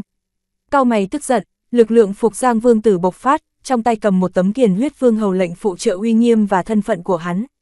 Thuộc hạ không dám, gương mặt lưu trí uyên nhỏ máu, da mặt co quắp, hắn không nói nên lời. Đối phương là vương tử, có kiêu ngạo và tôn nghiêm của vương tử, cha người của hắn tương đương hoài nghi hắn, đây không phải nhổ lông trên mông hổ sao. Không dám thì đừng nói nhảm, nhanh tra kẻ khác đi, đừng lãng phí thời gian đôi co với ta. Vung tay lên, Phục Giang vương tử không nói nhiều. Vâng, Lưu Trí Uyên không dám nói nữa, nhìn kỹ nhiếp vân, cũng không phát hiện có gì dị thường, lúc này mới quay người rời đi, liên tục điều tra kẻ khác. Tuy thực lực bản thân nhiếp vân không bằng đối phương, sau khi có thể sử dụng vòng tròn đại đạo, có thể so với cường giả nửa bước chúa tể, bằng vào thực lực của hắn căn bản không lộ ra chút sơ hở gì. Hô, thấy hắn rời đi, nhiếp vân thở ra một hơi, nhờ có lúc trước lưu phục Giang Vương tử lại, bằng không chuyện hôm nay khó có khả năng giải quyết êm thắm. Nhìn bộ dạng Lưu Trí Uyên tuyệt đối không bỏ qua cơ hội tra xét kẻ nào, không đi theo sau lưng Phục Giang Vương Tử tất nhiên sẽ bị điều tra ra, khó tránh khỏi chém giết một lần. Tránh thoát điều tra, Nhiếp Vân không nói câu nào, hắn đứng bên cạnh liễn của Phục Giang Vương Tử, lúc này Phục Giang nói. Lưu tướng quân, ta phải mau chóng quay về phục mệnh với Phụ Vương, ta sẽ không chờ tại nơi này, người phải nghiêm khắc điều tra, không được xuất hiện sơ suất. Vâng, Lưu Trí Uyên vội vàng gật đầu, thở ra một hơi. Đối phương là Vương Tử, nếu vẫn chờ ở nơi này hắn cảm thấy áp lực. Ân, cửu chiêu chúng ta đi, thấy đối phương không hề ngăn cản, Phục Giang Vương Tử thỏa mãn gật gật đầu, quay người muốn rời đi, còn chưa bay đi đã nghe tiếng hét lớn, một bóng người bay tới rất nhanh. Chậm đã, nương theo tiếng nói, một trung niên nhân mặc triều phục bay tới. Trung niên nhân gương mặt nghiêm túc, thực lực còn cũng không kém gì Lưu Trí Uyên, đều là cường giả tông chủ. chương 2209, Tam giới chiến trường 1. Chuyện được thực hiện bởi obookaudio.com đây chính là tâm phúc bên cạnh phụ hoàng của ta, đại thần chư cắt lăng, là người túc trí đa mưu, ngàn vạn cẩn thận. Nhiếp vân nghe được Phục Giang Vương Tử truyền âm, hắn truyền âm thông qua linh hồn khế ước, cũng không có năng lượng chấn động, mặc dù cường giả chúa tể cũng không thể nhìn ra. Túc trí đa mưu, nhiếp vân nheo mắt, chẳng lẽ đối phương phát giác cái gì, muốn tra đến cùng, thì ra là chư cắt thúc thúc. Phục Giang Vương Tử vui vẻ, tuy đại thần này luận thân phận không bằng Vương Tử nhưng đối phương là tâm phúc bên cạnh Hoàng đế, mặc dù là Phục Giang cũng kiêng kỵ vài phần. Vương Tử điện hạ, chư cát lăng dừng lại, khẽ khom người. Chuyện này là bệ hạ phân phó, không cho phép có bất kỳ sai lầm nào, kính xin vương tử tha thứ. Chư cát thúc thúc có ý tứ gì? Nghe nói như thế, Phục Giang nhíu mày một cái. Không có có ý gì, vương tử thân phận cao quý tự nhiên không thể tra, thuộc hạ của vương tử điện hạ đề phòng có kẻ khác giả mạo, hy vọng có thể phối hợp dò xét một chút. Chư Cát Lăng nói, ngươi muốn tra hắn, sắc mặt Phục Giang khó coi, kính xin phối hợp, chuyện này liên lụy rất lớn, ta không thể nói ra, kính xin vương tử thứ lỗi, nếu như vương tử không tin có thể trở về tự mình hỏi bệ hạ, một khi biết rõ sẽ hiểu khổ tâm của hạ thần. Sắc mặt chư cắt lăng ngưng trọng, nói tiếp, mặt khác, mời vương tử qua bên này, thuộc hạ còn có một câu muốn hỏi. Ân, thấy đối phương ngưng trọng như thế, nội tâm phục giang vương tử nghi hoặc đi qua. Hô, chư cắt lăng tiện tay bố trí một cấm chế làm người ngoài không nghe thấy, lúc này khom người nói. Bệ hạ đã biết vương tử mất đi phù hư đam sơn, còn muốn hỏi một chút, là người nào cướp bảo vật này trong tay của vương tử. Phụ hoàng bảo ngươi hỏi, Phục Giang nhíu mày, binh khí bị người đoạt đi, đây là chuyện vô cùng nhục nhã, trực tiếp hỏi như vậy, tương đương vạch trần vết sẹo, không nhục mã mới lạ. Đúng thế, chư cắt lăng gật đầu, phải, Phục Giang vương tử do dự sau đó ngẩng đầu lên nói. Cụ thể là ai ta cũng không quá rõ ràng, là người ba đại tông môn vạn nhận sơn, thập thu lĩnh và đoạn thiên nhai liên thủ làm, ta chỉ nhớ rõ hai người mạnh nhất là Tô Lâm và Mạc Nhiêu, mặt khác cũng không nhận ra. Chính đám người này cướp đi phù hư đam sơn, lại phá hư nhiệm vụ phụ hoàng giao cho ta, lúc này ta đại khai sát giới với ba đại tông môn, làm cho bọn chúng biết rõ kiền huyết vương triều chúng ta lợi hại. Thì ra là thế, nghe nói như thế chưa cắt lăng tin tưởng vài phần, trước kia còn chưa tới, hắn chợt nghe có người nói vương tử đồ sát người ba đại tông môn trong thần chi di tích. Tuy ba đại tông môn không bằng kiền huyết vương triều nhưng nội tình bày ra đó, thân là đệ tử hoàng gia nên biết chuyện này, sẽ không dễ dàng làm ra chuyện tà đạo này. Phục Giang Vương Tử là người nổi danh tỉnh táo, hắn làm như vậy đã làm người ta cảm thấy không đúng. Chính bởi vì như thế hắn mới vội vàng chạy đến, muốn cẩn thận. Điều tra một chút vì sao Vương Tử lại làm như vậy, nghe nói như thế lập tức tin tưởng bảy, tám phần. Ba đại tông môn lại dám cướp đồ của Vương Tử, khó trách hắn nổi giận. Chư cắt thúc thúc, người ở nơi này cẩn thận thẩm tra, nhất định đừng để người kia chạy trốn, ra tay với ta chính là khiêu khích uy nghiêm của kiền huyết vương triều, tội không thể tha. Nói đến đây Phục Giang Vương Tử oán hận lên tiếng, trong mắt mang theo lửa giận. Vâng, Vương Tử yên tâm, chuyện này ta nhất định sẽ hảo hảo xử lý, cũng bắt lấy tất cả những người kia. Chư Cát Lăng vội vàng trả lời, ân, cửu chiêu là thuộc hạ của ta, đi theo ta nhiều năm, ta thân là Vương Tử không cách nào bảo hộ, để tùy ý để binh sĩ bình thường điều tra, thật sự có chút không nói nổi. Ta làm Vương Tử cũng cần mặt mũi của mình, chứ cắt thúc thúc, không nên thật thẩm tra a. Phục Giang Vương Tử nói tiếp, như vậy đi, bảo binh sĩ đi thăm dò thật có tổn hại uy nghiêm của Vương Tử, ta tự mình đi tra, chỉ dò xét linh hồn là được rồi. Nghe nói như thế chư cắt Lăng do dự sau đó lên tiếng. Công nhiên thẩm tra người của Vương Tử thật sự đã làm hao tổn mặt mũi Vương Tử. Vậy là tốt, Phục Giang Vương Tử gật gật đầu, bước ra khỏi cấm chế sau đó ngoắc nhiếp vân. Cửu chiêu, tới đây phóng thích linh hồn để chư Cát thuốc thuốc thẩm tra một chút, tra xong chúng ta đi về, ta còn có việc gấp cần bẩm báo với Phụ Hoàng. Vâng, nhiếp vân đi tới, tuy vừa rồi chư cắt lăng bố trí cấm chế nhưng Phục Giang Vương Tử là người hầu của nhiếp vân, thông qua dấu vết linh hồn có thể nghe rõ ràng. Hai bên nói chuyện cũng truyền vào tai hắn, cho nên vừa rồi Phục Giang nói những lời kia là nhiếp vân bảo hắn nói. Tiếp tục biến ba đại tông môn thành kẻ thế mạng để bảo trụ chính mình, lại có thể làm bọn chúng chó cắn chó một miệng đầy lông. Ông, nhiếp vân bộc phát linh hồn, Linh hồn của hắn không có khí tức giết chóc, tương đối sạch sẽ, cho dù cho đối phương thẩm tra cũng không có gì, quả nhiên chư cắt lăng cẩn thận thẩm tra một lần cũng không phát hiện cái gì, lúc này mới xấu hổ cười cười nói xin lỗi Phục Giang Vương Tử. Tốt, chúng ta đi trước, chư cắt thúc thúc nhất định phải bắt lấy đám người Tô Lâm, mặc nhiêu giao cho ta, ta muốn đích thân xử lý bọn chúng. Phục Giang Vương Tử nói thêm một câu và mang theo nhiếp vân bay đi xa, chỉ trong nháy mắt biến mất khỏi nơi này. Hô, hai người bay đi không bao lâu, xác định không có ai phát hiện mới dừng bước. Ta phải về xử lý chuyện quy khư hải, ngươi tiến vào nạp vật thế. Giới của ta, xử lý xong chuyện quy khư hải ta sẽ cùng ngươi đi kiền huyết phương triều. Nhiếp vân thở ra một hơi và phân phó một câu, tuy bằng vào thực lực của hắn hiện tại sẽ không sợ chư cắt lăng, trấn viễn tướng quân cái gì, hắn không muốn bại lộ thân phận của mình mà thôi, bằng không phiền toái không nhỏ, có thể tránh được phiền toái quấn thân mới là tốt nhất.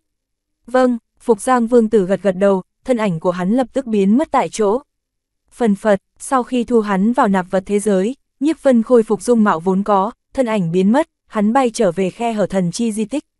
Vừa rồi lúc đến hắn nhìn thấy tinh nguyệt cổ thuyền của cổ ung tông chủ Quy Khư Hải, cổ thuyền dừng cách khe hở không xa, chờ đệ tử Quy Khư Hải trở về.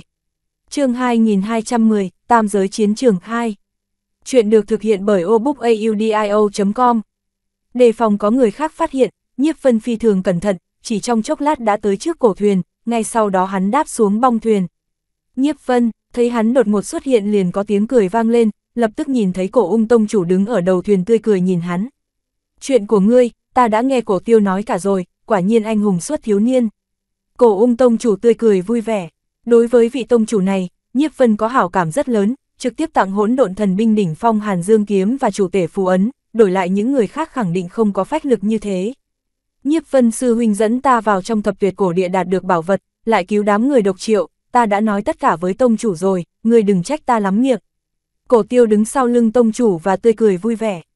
Chuyện này, nghe cổ tiêu nói thế, có lẽ chưa nói chuyện đám người thanh diệp vương, vạn lực vương, nội tâm nhiếp vân thả lỏng nhìn sang tông chủ, lúc đang muốn lên tiếng, cổ ung cao mày nhìn sang hai chiếc cổ thuyền cách đó không xa.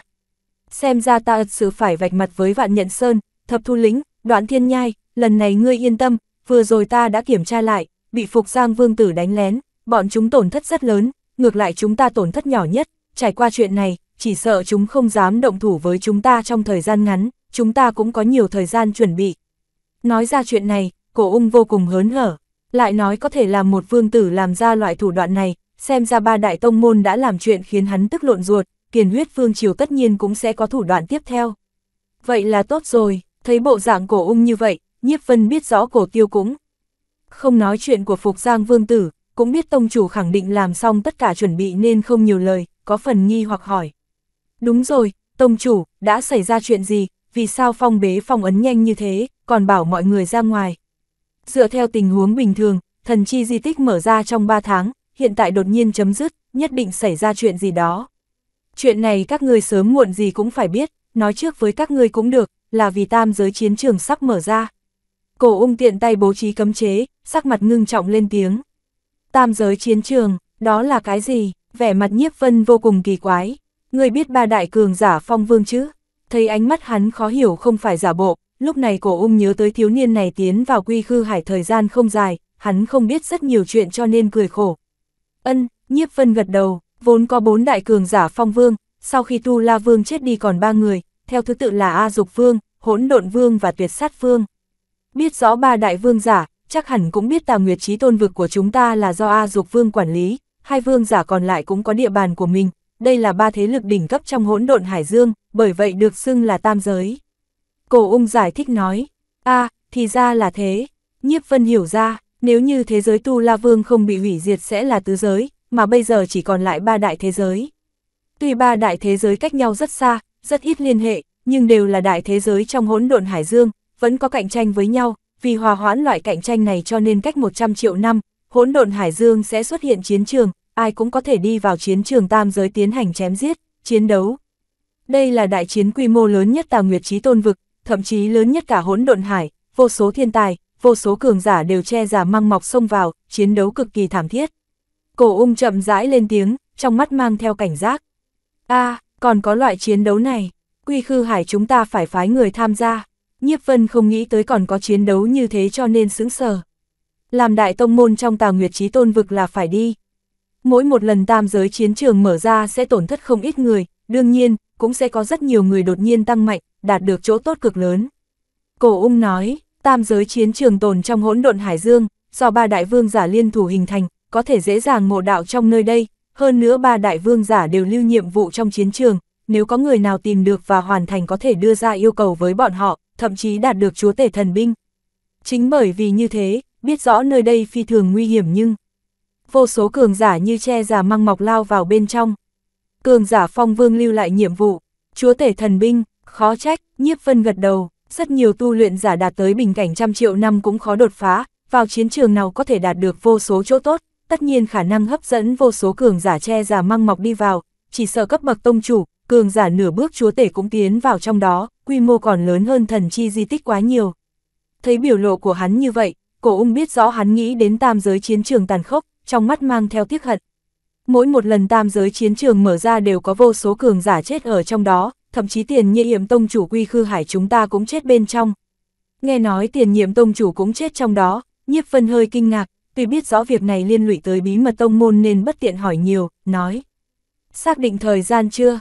Mở ra lúc nào? Vào 3 tháng sau, chính bởi vì như thế, lúc này mới sốt ruột ra khỏi thần chi di tích như vậy. Cổ ung nói, nhanh như thế, thời gian 3 tháng với người tu luyện vô tận tuế nguyệt mà nói chỉ là nháy mắt mà thôi, nhanh mở tam giới chiến trường ra như thế, đám người tông chủ chẳng quan tâm bọn họ, đành phải sớm đóng cửa thần chi di tích, có được càng nhiều thời gian để chuẩn bị cho tam giới chiến trường. Đúng thế, cổ ung tông chủ gật đầu nói, tam giới chiến trường, ta vốn muốn đi cùng với đám người cửu tiên trưởng lão, nghe cổ tiêu nói thực lực ngươi đã đạt tới hơn 2.800 đại đạo, cho nên cũng muốn mang ngươi đi qua cho biết. Cổ tiêu cũng không nói rõ chi tiết thực lực nhiếp vân, dù sao quá mức kinh thế hãi tục, chỉ nói thực lực của hắn vượt xa chính mình, thậm chí có thể đánh chết đối thủ hơn 2.800 đại đạo, cho nên mặc dù cổ ung cũng không biết tu vi của hắn. Và, chương 2211, Quy Khư Tổ Địa. Chuyện được thực hiện bởi obookaudio.com Nếu như tông chủ rời khỏi tông môn, vạn nhận sơn, thập thu lĩnh tệ ến tới đánh lén thì làm sao bây giờ? Nhiếp vân sững sờ, hắn không nghĩ tới tông chủ lại có ý định đi tam giới chiến trường. Bọn chúng sẽ không đánh lén, bởi vì tông chủ ba tông môn cũng nhận được lệnh bài của kiền huyết vương triều, phải đi tam giới chiến trường. Cổ ung cười cười, còn tưởng rằng nhiếp vân sợ hãi lo lắng, an ủi một câu. Yên tâm đi, tam giới chiến trường tuy nguy hiểm nhưng chỉ cần không đi tranh đoạt hỗn độn vương phù lệnh, chỉ tu hành đại đạo sẽ không nguy hiểm gì. Vận khí tốt còn có thể đạt được chỗ tốt không tưởng. Hỗn độn vương phù lệnh, a trước kia có nói cường giả phong vương lưu lại nhiệm vụ, nếu như có thể tìm được phù lệnh này, hơn nữa đọc hiểu nội dung phía trên chẳng khác nào tiếp nhận nhiệm vụ, trong thời gian nhất định hỗn độn vương phù lệnh sẽ là pháp bảo cường đại bảo hộ ngươi an toàn, mặc dù cường giả chúa tể muốn phá vỡ cũng cần thủ đoạn cường đại mới được. Đúng rồi, còn một điều chuyện cần nói sớm một chút, tam giới chiến trường là chiến đấu quy mô lớn nhất trong tam, khả năng cường giả chúa tể cũng sẽ xuất hiện. Cổ ung nói, cường giả chúa tể xuất hiện, chúa tể thần binh không phải do cường giả chúa tể luyện chế sao? Bọn họ không cần, nhiếp phân kỳ quái, tam giới chiến trường hấp dẫn người ta nhất chính là chúa tể thần binh, loại binh khí này do cường giả chúa tể luyện chế, tới tham gia làm gì? Tam giới chiến trường phi thường nguy hiểm, nhưng đối với cường giả chúa tể mà nói không có bất kỳ uy hiếp gì, trừ cường giả phong vương ra tay, nếu không ta chưa từng nghe nói có ai đánh chết cường giả chúa tể. Chúa tể đồng cấp đều lĩnh ngộ 3.000 đại đạo, thực lực không kém nhau bao nhiêu, không ai làm gì được ai. Sở dĩ bọn họ tới không phải vì chúa tể thần binh, mà là vì cường giả phong vương đồng ý. Nếu như có thể đạt được cường giả cấp bậc này hứa hẹn còn tốt hơn bảo vật rất nhiều. Cổ ung cười nói, ân, nhiếp vân gật đầu, tuy cường giả chúa tể đứng trên đỉnh phong tà nguyệt trí tôn vực nhưng kém cường giả phong vương quá xa, có thể đạt được cường giả phong vương đồng ý tự nhiên cầu còn không được. Còn thời gian 3 tháng tam giới chiến trường mới mở ra, ta muốn mang ngươi đi nơi thần bí trong quy khư hải tu luyện, như vậy có thể giúp ngươi tu luyện nhanh hơn, có hứng thú hay không? Cổ ung tông chủ nói rõ chuyện tam giới chiến trường, vẻ mặt vui vẻ nhìn qua. Tông chủ muốn nói quy khư tổ địa, cổ tiêu ở bên cạnh nghe nói như thế hưng phấn thiếu chút nữa nhảy lên, quay đầu nhìn thấy nhiếp vân không hiểu cho nên giải thích một câu. Quy khư tổ địa là thánh địa tu luyện lợi hại nhất quy khư hải, có mạnh hơn nơi tu luyện hạch tâm phong cả trăm lần, các đệ tử quy khư hải dùng tiến vào trong đó tu luyện làm mục tiêu cuối cùng, nhiếp vân sư huynh, chúc mừng, chúc mừng. Quy khư tổ địa đã mấy chục vạn năm chưa mở ra cho đệ tử đi vào. Nói đến đây cổ tiêu vô cùng hâm mộ, ha ha, ta ấy cổ tiêu giải thích với mình, cổ ung tông chủ gật gật đầu, trong mắt mang theo vui vẻ.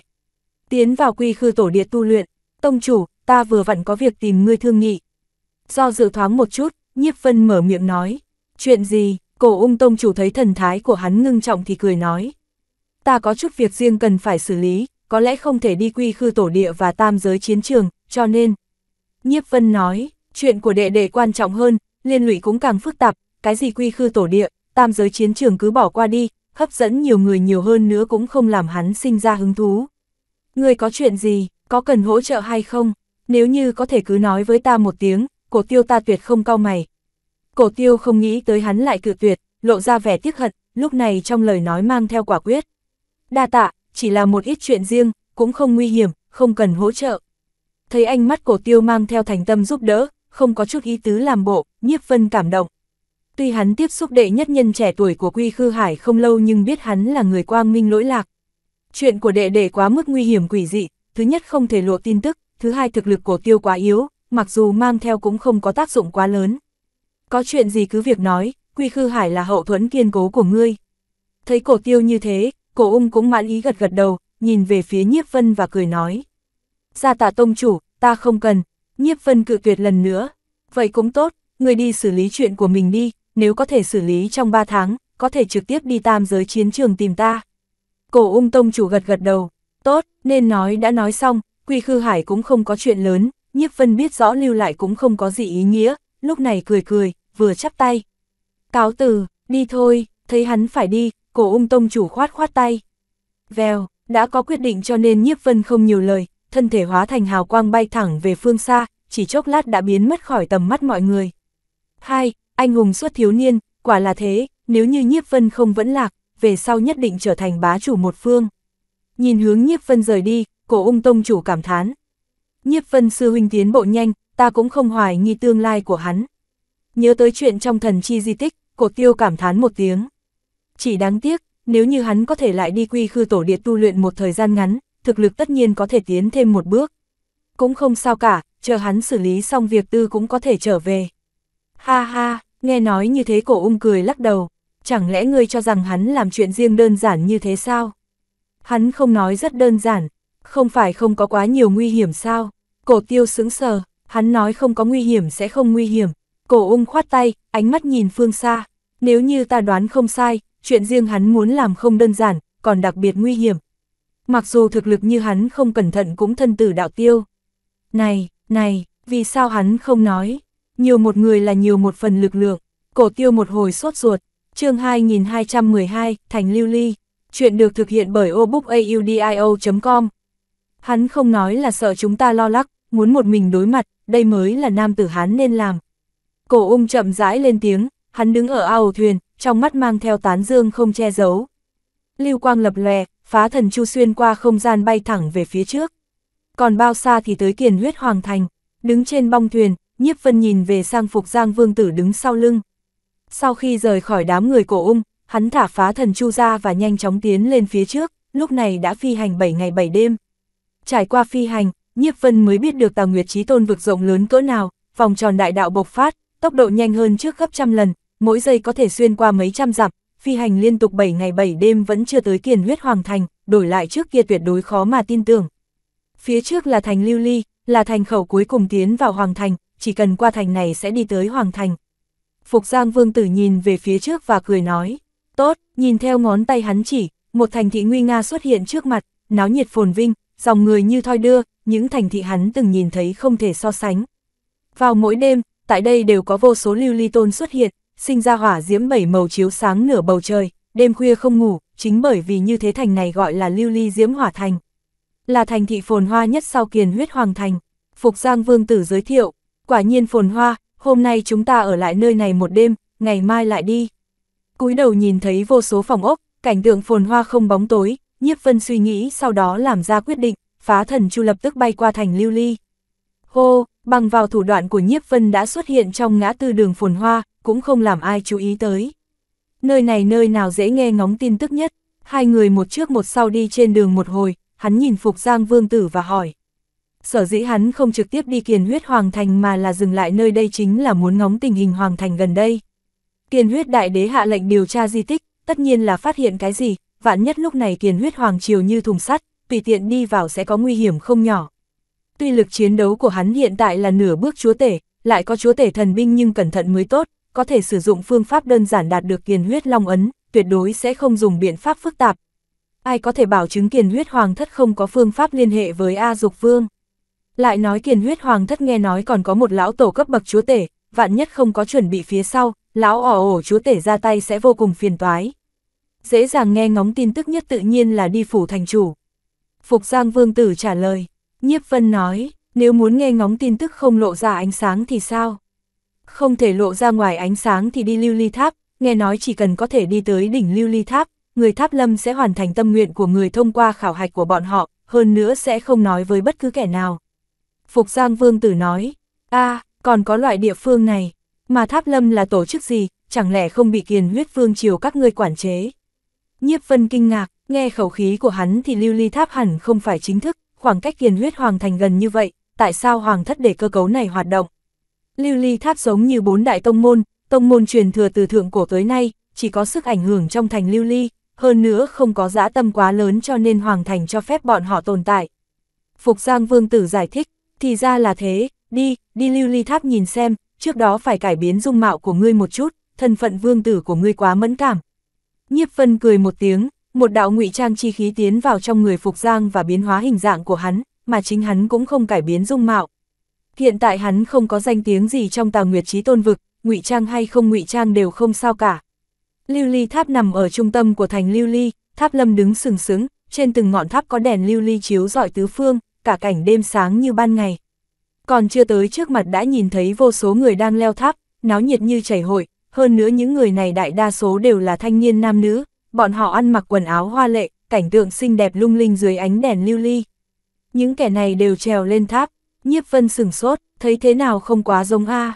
A, ta quên bẩm báo chủ nhân, hôm nay vừa lúc tháp lâm mở ngân nguyệt trao đổi đại hội, hàng năm vào lúc này thanh niên nam nữ sẽ mộ danh tới đây, tìm kiếm đối tượng ngưỡng mộ trong lòng, một khi tìm được nữ tử có thể dùng khăn tay biểu lộ ý nghĩ yêu thương, nam tử cũng có thể đưa bội kiếm cho đối phương tỏ vẻ đồng ý. Ngân Nguyệt trao đổi đại hội này thật sự là Nguyệt lão đại hội, trước kia ta chỉ nghe qua, hiện tại mới gặp được. Phục Giang Vương Tử xem một hồi liền bừng tỉnh đại ngộ, dường như hắn cũng quên chuyện này thật. Nguyệt lão đại hội, thú vị, nhiếp vân mỉm cười, theo trọng sinh đến bây giờ hắn vẫn chiến đấu và tu luyện, những nơi hắn đi qua không có thịnh cảnh như thế này, hiện tại đột nhiên nhìn thấy làm cho hắn cảm thấy mới lạ. Cảnh tượng trước mắt náo nhiệt, nhiếp vân dạo chơi đi vào tháp lâm. Lưu ly đang hiếu sáng mặt đất như ban ngày, trong tháp lâm có vô số tuấn nam mỹ nhân đang leo lên cao, ánh mắt sáng ngời nhìn bốn phía. Nhiếp vân không có tâm tình ngắm mỹ nữ, hắn đang nhìn chằm chằm vào lưu ly tháp. Không biết những tháp cao này dùng vật liệu gì tạo thành, không mất mỹ quan, phía trên có không ít phù văn giống trang sức, mang theo cảm xúc khác lạ. Những phù văn này không có đại đạo chi lực gì, chỉ là trang trí bình thường, người ta nhìn lâu sẽ vui vẻ thoải mái, càng ngày càng cao hưng.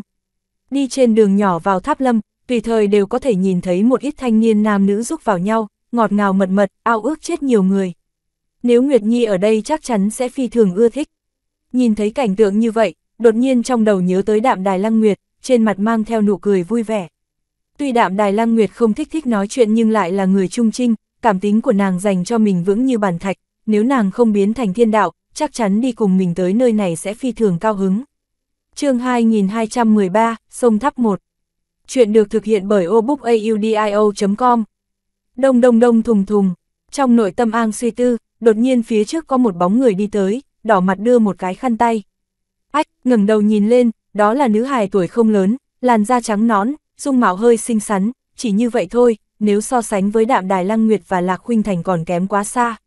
Ha ha, là thiếu gia mị lực lớn, nhìn thấy có người chủ động đưa khăn tay bày tỏ ái mộ, Phục Giang Vương Tử cười lớn, nhiếp vân cảm giác giờ khóc giờ cười. Hắn đã áp chế tu vi, trên đường đi dạo qua đây mà thôi, cũng không có ý muốn nào khác, tại sao có nữ hải chú ý hắn. Lại ái mộ hắn, thật sự không biết nên nói như thế nào. Kỳ thật hắn không biết, bởi vì hắn không có suy nghĩ, nhìn bộ dạng của hắn tự tin nho nhã hơi yêu thương mới càng hấp dẫn những nữ hải chung quanh. Thật xấu hổ, ta chỉ đi du lịch, cũng không phải tới tìm đạo lữ, tình cảm ta tâm lĩnh. Xấu hổ cười cười, nhiếp vân trả lại khăn tay cho nữ hài, lắc đầu, tiếp tục đi thẳng về phía trước. Ngươi, không nghĩ tới cố nén xấu hổ tới tặng khăn tay lại bị người cự tuyệt, sắc mặt nữ hài đỏ lên, nước mắt liên tục rơi xuống đát.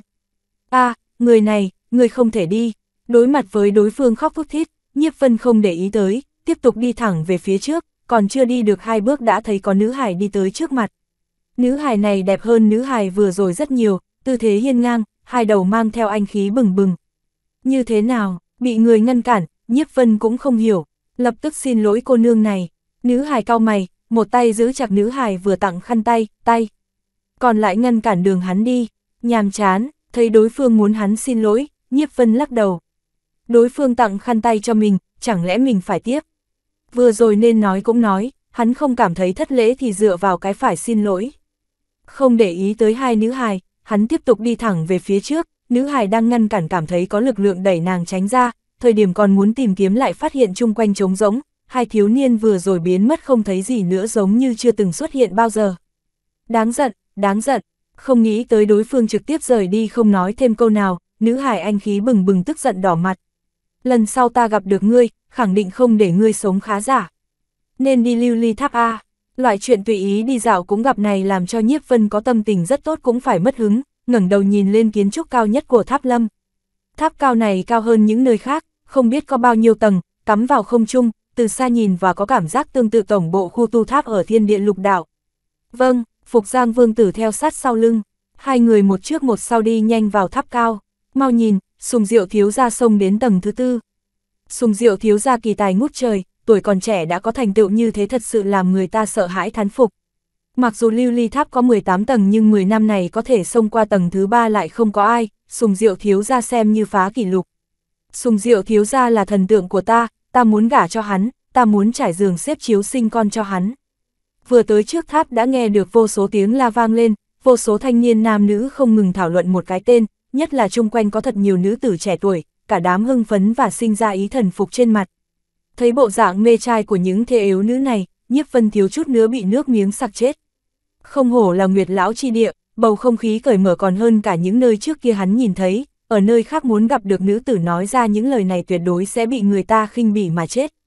Với cái nhìn của hắn, không biết xấu hổ đến mức tận cùng, lắc đầu không để ý tới những nữ tử này gào rú, ngẩng đầu nhìn lên tháp cao, các tầng tháp khác đều tối tăm, có người thông qua sẽ chiếu sáng cả bầu trời. Nhiếp vân liếc mắt nhìn, phát hiện tầng thứ tư của tháp cao đang sáng trưng, nói rõ đã có người xông qua tầng thứ tư, chờ đợi một lát ngọn đèn ở tầng thứ tư ảm đạm, lúc này hào quang của các tầng dập tắt, một thanh niên bước ra. Tuy thanh niên này mặc quần áo màu xanh lá nhưng khó che giấu quý khí trên người của mình, hắn tuấn lãng, lắc đầu đi xuống, tuy được xưng là đệ nhất nhân khi sông tháp 10 năm qua nhưng trên mặt lại không có chút đắc ý nào, ngược lại mang theo uể oải nồng đậm, xem ra hắn không vừa ý với thành tích này. Sùng Diệu thiếu gia, ta yêu ngươi, ngươi là thiên tài duy nhất trong nội tâm của ta. Hắn vừa đi ra, đang lắc đầu, một nữ hài nhào thẳng tới, không quan tâm và đưa khăn tay màu trắng cho hắn. Đa tạ, Sùng Diệu thiếu gia tiếp nhận khăn tay, uể oải trên mặt biến mật, lập tức biến thành tươi cười, nhìn thấy hắn phong độ như thế, chung quanh lại vang lên tiếng thét liên tiếp, lại có bốn, năm nữ hài xông lên đưa khăn ai bày tỏ ý nghĩ yêu thương. Sùng Diệu thiếu gia tiếp na ẩn từng cái, cũng không phỏng đoán. Ách, tại sao hắn thu những khăn tay này, chẳng lẽ ưa thích những nữ hài này sao? Nhiếp vân kỳ quái, hắn xem ra những nữ tử này giao khăn tay chính là bày tỏ yêu thương, nếu như tỏ vẻ tiếp thu, chẳng lẽ hắn lại thu hết bọn họ sao? Hiến khăn tay chỉ tỏ vẻ ái mộ đối phương, đây là một loại thiện ý, tiếp thu nhiều người hơn nữa cũng không sao, chỉ khi ngươi tặng đối phương bảo kiếm mới nói rõ ngươi trung tình với đối phương, nếu như đối phương cho ngươi khăn tay, ngươi không tiếp thụ ngược lại trả lại là thập phần không lễ phép, tương đương xem thường đối phương. Nhiếp vân nghi hoặc lên tiếng, một người nghe được và lên tiếng. Xem thường đối phương, nhiếp vân mở to mắt, lúc này hắn mới vì sao nữ hài kia lại khóc, thì ra còn có cách nói như vậy, không biết đúng là đắc tội với người ta. Cũng không sao cả, hắn chỉ dạo chơi mà thôi, dùng không bao lâu. Sẽ rời đi, cũng không ảnh hưởng tới ai. Hôm nay còn một lần sông tháp cuối cùng, có người nào nguyện y sông một lần. Sùng Diệu thiếu gia đang tiếp thu phần đông nữ hài sùng bái, cánh cửa màu đen lại mở ra, lúc này bóng người cao gầy cất cao giọng nói. Còn có một lần cơ hội, ta đi thử, ngươi đi cũng được, chỉ sợ bổn sự của ngươi không qua được tầng thứ nhất. Như vậy đừng đi, bóng người cao gầy nói ra, mọi người trước tháp nghị luận liên tục, mọi người đang bàn tán lẫn nhau.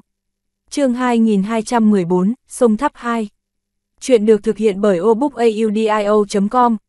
Ta thử xem, nhiếp vân đi tới, hắn tới nơi này chính là muốn sông lên đỉnh tháp, lúc này có cơ hội sẽ không bỏ qua. Mau nhìn, là một gia hỏa không biết trời cao đất rộng. Hắc hắc, có trò hay xem, loại người này không thể sông lên cả tầng thứ nhất, không ngờ dám đi lên. Thấy một thiếu niên đi tới như lăng thanh đầu, tất cả mọi người cười khẽ một tiếng. Nhiếp vân ẩn giấu tu vi của mình, những người khác cho rằng thực lực của hắn không tốt lắm, cho nên tất cả mọi người nhìn không tốt. Đầu tiên giao phí tổn sông tháp, sau đó lại đi vào. Thấy nhiếp vân bước ra khỏi đám người, trực tiếp đi tới tháp cao, người phụ trách lưu ly tháp cao gầy lên tiếng. Còn phải giao phí, nhiếp vân tại nháy mắt, nói nhảm, không giao phí tổn, thậm chí mỗi người đều muốn đi lên, chẳng phải chúng ta mệt chết.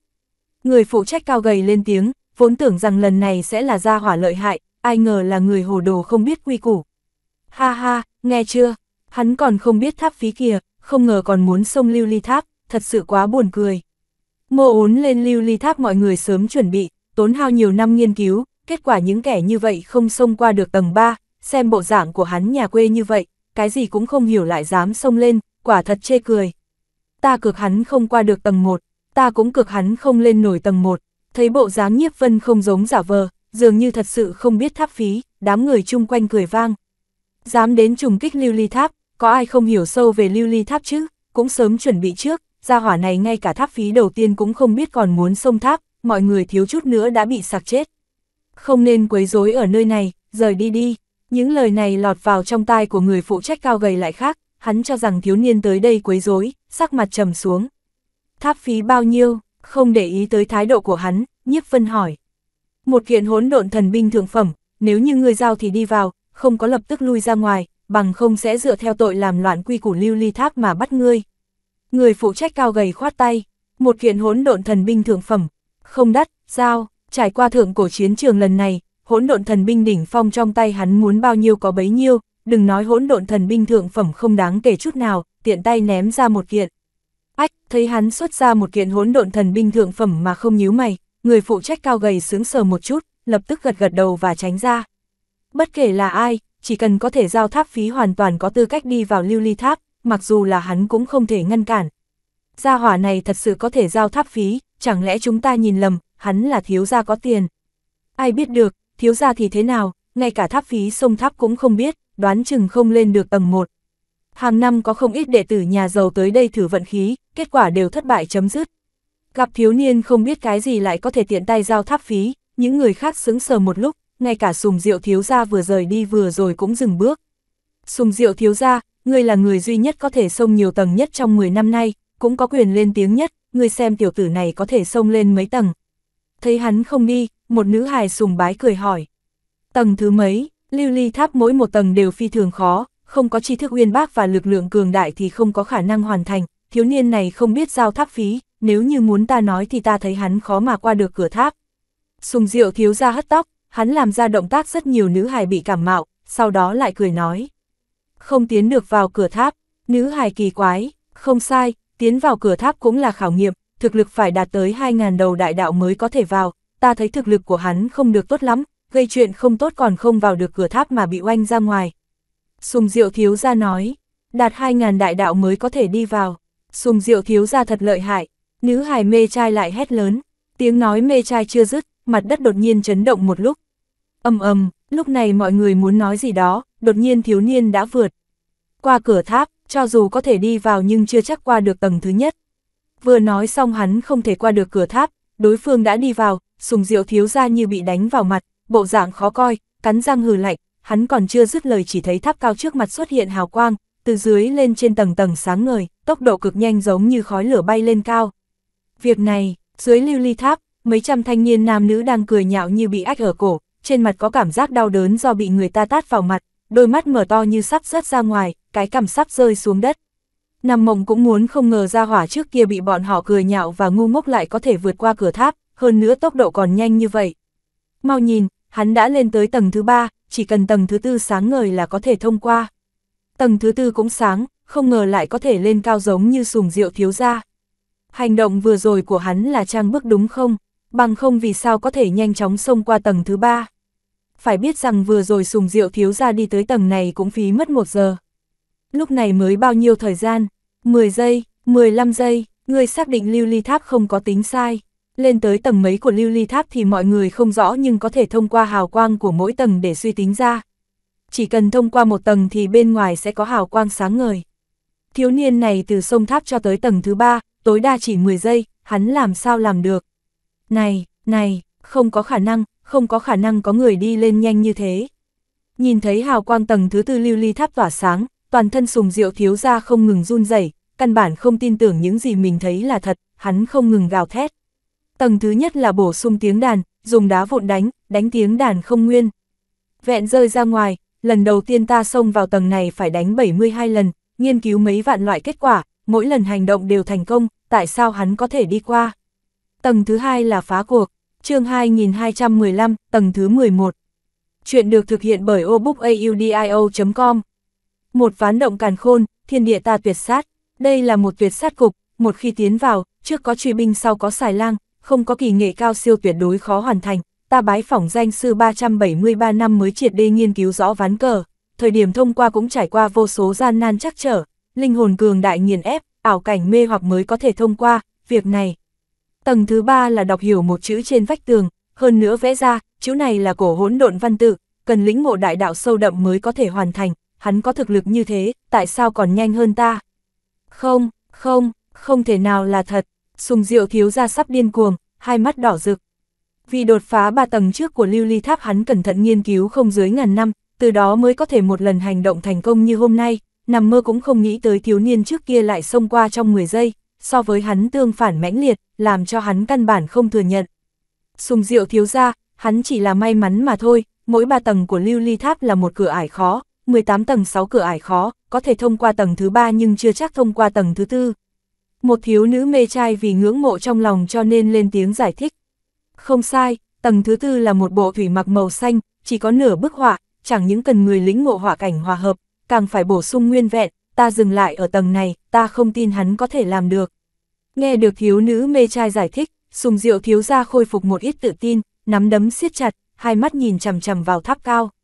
Trèo lên tháp thành công hay không, chỉ nói lên được tầng mấy và không quan hệ thời gian, một giây lên đỉnh tháp và 10 năm lên đỉnh tháp đều giống nhau, gia hỏa này chỉ cần thất bại thì thành tựu cũng chỉ ngang hắn, không thể nào vượt qua. Ông, thời điểm sùng diệu thiếu ra chờ đợi hào quang của tầng thứ tư dập tắt, chờ lúc thiếu niên xấu hổ bước ra ngoài, đột nhiên tháp cao kêu vang, tầng thứ 5, tầng thứ 6, tầng thứ 7 đồng thời sáng lên. Cái gì, sùng diệu thiếu ra sợ tới mức lui về phía sau vài bước, gương mặt trắng bệch, dám nói đối phương không thông qua tầng thứ tư. Đảo mắt người ta đã lên tầng thứ 7, rốt cuộc cả thế giới điên hay hắn nhìn lầm. Không riêng gì hắn, lúc này phía trước lưu ly tháp lặng ngắt như tờ, dường như mọi người bị cảnh tượng trước mắt làm điên cuồng, thậm chí vừa rồi người phụ trách cao gầy của lưu ly tháp cũng đứng nguyên tại chỗ, toàn thân cứng ngắt. Mau nhìn, lưu ly tháp sáng tới tầng thứ bảy đã mấy ngàn năm qua chưa từng có ai tới tầng thứ bảy nhanh đi qua xem. Ai đi vào, lợi hại như vậy, chẳng lẽ là sùng diệu thiếu ra? Không phải hắn, hắn chỉ có tiến vào tầng thứ tư là đi xuống, nghe nói là nhân vật mới không danh tiếng. Nhân vật mới, nhân vật mới xông tới tầng 7, lưu ly tháp bộc phát ánh sáng, người trong tháp lâm bị kinh động, rát nhiều tình lữ lúc trước anh anh em em cũng không còn đi dạo bốn phía, nhìn thấy thịnh cảnh ở nơi này, tất cả đều đi tới, thời gian qua một lát, lưu ly tháp đã có hơn vạn người đứng xem. Những người này nhìn về phía lưu ly tháp cao ngất, dường như bị người ta bóp cổ nên lặng ngắt như tờ, yên tĩnh tới mức tiếng kim rơi cũng có thể nghe thấy. Nội tâm mọi người đang suy nghĩ, rốt cuộc người sông tháp là ai, có thể sông tới tầng thứ mấy. Trăm triệu năm qua, từ khi lưu ly tháp thành lập, ghi chép tốt nhất là tầng 13. Hắn có thể phá sao? Nhiếp vân không biết hành động của hắn làm cho cả tháp lâm chú ý, lúc này hắn hắn đang đi từng bước về phía trước. Hiện tại hắn đang ở trong phòng tầng 11, với người có 3.000 đan điền như hắn mà nói mấy tầng trước vô cùng đơn giản, không có bất kỳ độ khó nào, độ khó khi vượt qua tầng 10 đã gia tăng không ít. Xuất hiện trước mặt hắn là một giá đỡ cực lớn, phía trên đặt một đống lớn dược liệu, chính giữa là đồng đỉnh, trên không trung có tên đan dược lơ lửng, rất hiển nhiên hắn có thể tùy ý lựa chọn dược liệu, hơn nữa luyện chế thành đan dược. Phá hồn đan, nhìn thấy cái tên đang lơ lửng trên đỉnh tháp, nhiếp vân cau mày suy nghĩ. Trong tào nguyệt trí tôn vực có nhiều chủng đan dược phong phú, mặc dù là hắn cũng chưa từng nghe nói qua cái tên này, không nghe qua tên, không biết đan phương, cái gì cũng không biết thì làm sao luyện chế. Chẳng lẽ phải dừng ở tầng này, đầu tiên thử công hiệu xem sao, cao mày suy nghĩ, nhiếp vân nhìn công hiệu đan dược. Bằng vào thiên phú đan đạo và kiến thức của hắn, chỉ cần biết công hiệu, sau đó lại căn cứ vào một đống dược liệu là có thể đoán ra phương thuốc. Ngón tay điểm vào tên của đan dược, công hiệu xuất hiện trước mắt, cũng chỉ có 8 chữ linh hồn phá cảnh, thực lực tăng lên. Linh hồn phá cảnh, xem ra là đan dược tăng linh hồn, như vậy lựa chọn sẽ giảm nhiều. Tuy chỉ có 8 chữ thể hiện công hiệu và cường độ của đan dược nhưng nhiếp vân thở ra một hơi, hắn đi tới kệ thuốc. Kim thụ thảo, linh dị hoa, cửu tiết mộc, hồng diệp cầm. Trên giá có hơn 20 loại dược liệu, mỗi loại phi thường chân quý, hắn xem một hồi, nhiếp vân cao mày giống như rơi vào hầm băng. Kim thụ thảo là dược liệu kim thuộc tính có lợi cho rèn luyện linh hồn, linh dị hoa và cửu tiết mộc đều là thánh dược chữa thương không có tác dụng với linh hồn. Hồng Diệp cầm giúp người ta chống cự tâm ma, có tác dụng an thần tĩnh tâm và linh hồn, không có tác dụng với linh hồn phá cảnh. Tuy những dược liệu này chân quý nhưng không có hy hữu, chỉ cần cẩn thận tìm kiếm sẽ tìm được, dược liệu không quý trọng, chỉ cần phối hợp tốt cũng có thể luyện ra đan dược lợi hại, điểm ấy cũng không kỳ lạ quý hiếm, mấu chốt là những dược liệu này không có cái nào hữu dụng với linh hồn một cách thật sự. Muốn linh hồn phá cảnh, ít nhất phải có dược liệu tác dụng trực tiếp lên linh hồn, đống dược liệu này làm sao luyện chế phá hồn đan đây? Nhiếp vân im lặng suy nghĩ, muốn luyện chế đan dược tương ứng, đầu tiên phải có dược liệu tương ứng mới có. Thể thông qua linh lực phối hợp, thông qua chủ phụ phối hợp cô động mà thành, một đống dược liệu nhưng không có cái nào giúp gia tăng linh hồn, làm sao có thể luyện ra linh hồn phá cảnh. Như vậy không phải chơi ta sao? chương 2216, Nguyệt Vũ. Chuyện được thực hiện bởi obookaudio.com. Ân, đúng rồi, muốn linh hồn phá cảnh, đầu tiên phải tâm thần yên tĩnh, tâm tư yên tĩnh mới có thể càng đi càng nhanh, Hồng Diệp. Cầm vừa vặn có thể làm cho người tĩnh tâm, chẳng lẽ phá hồn đan dùng nó làm chủ. Thân thể chính là căn bản khí huyết toàn thân, linh hồn tầm, thân thể mạnh mẽ, linh hồn mới có thể tăng trưởng, kim thụ thảo có tác dụng rất lớn. Linh dị hoa và cửu tiết mộc có tác dụng chữa thương, lại có thể gia tăng tốc độ khôi phục thân thể, gia tăng sự trao đổi chất. Tuy cảm thấy không có khả năng hoàn thành nhưng nhiếp vân lại yên tĩnh thể ngộ, lúc này nhìn kỹ đan dược chung quanh một lần, thuộc tính và dược hiệu của chúng không ngừng xuất hiện trong đầu, không ngừng hình thành một phương thuốc.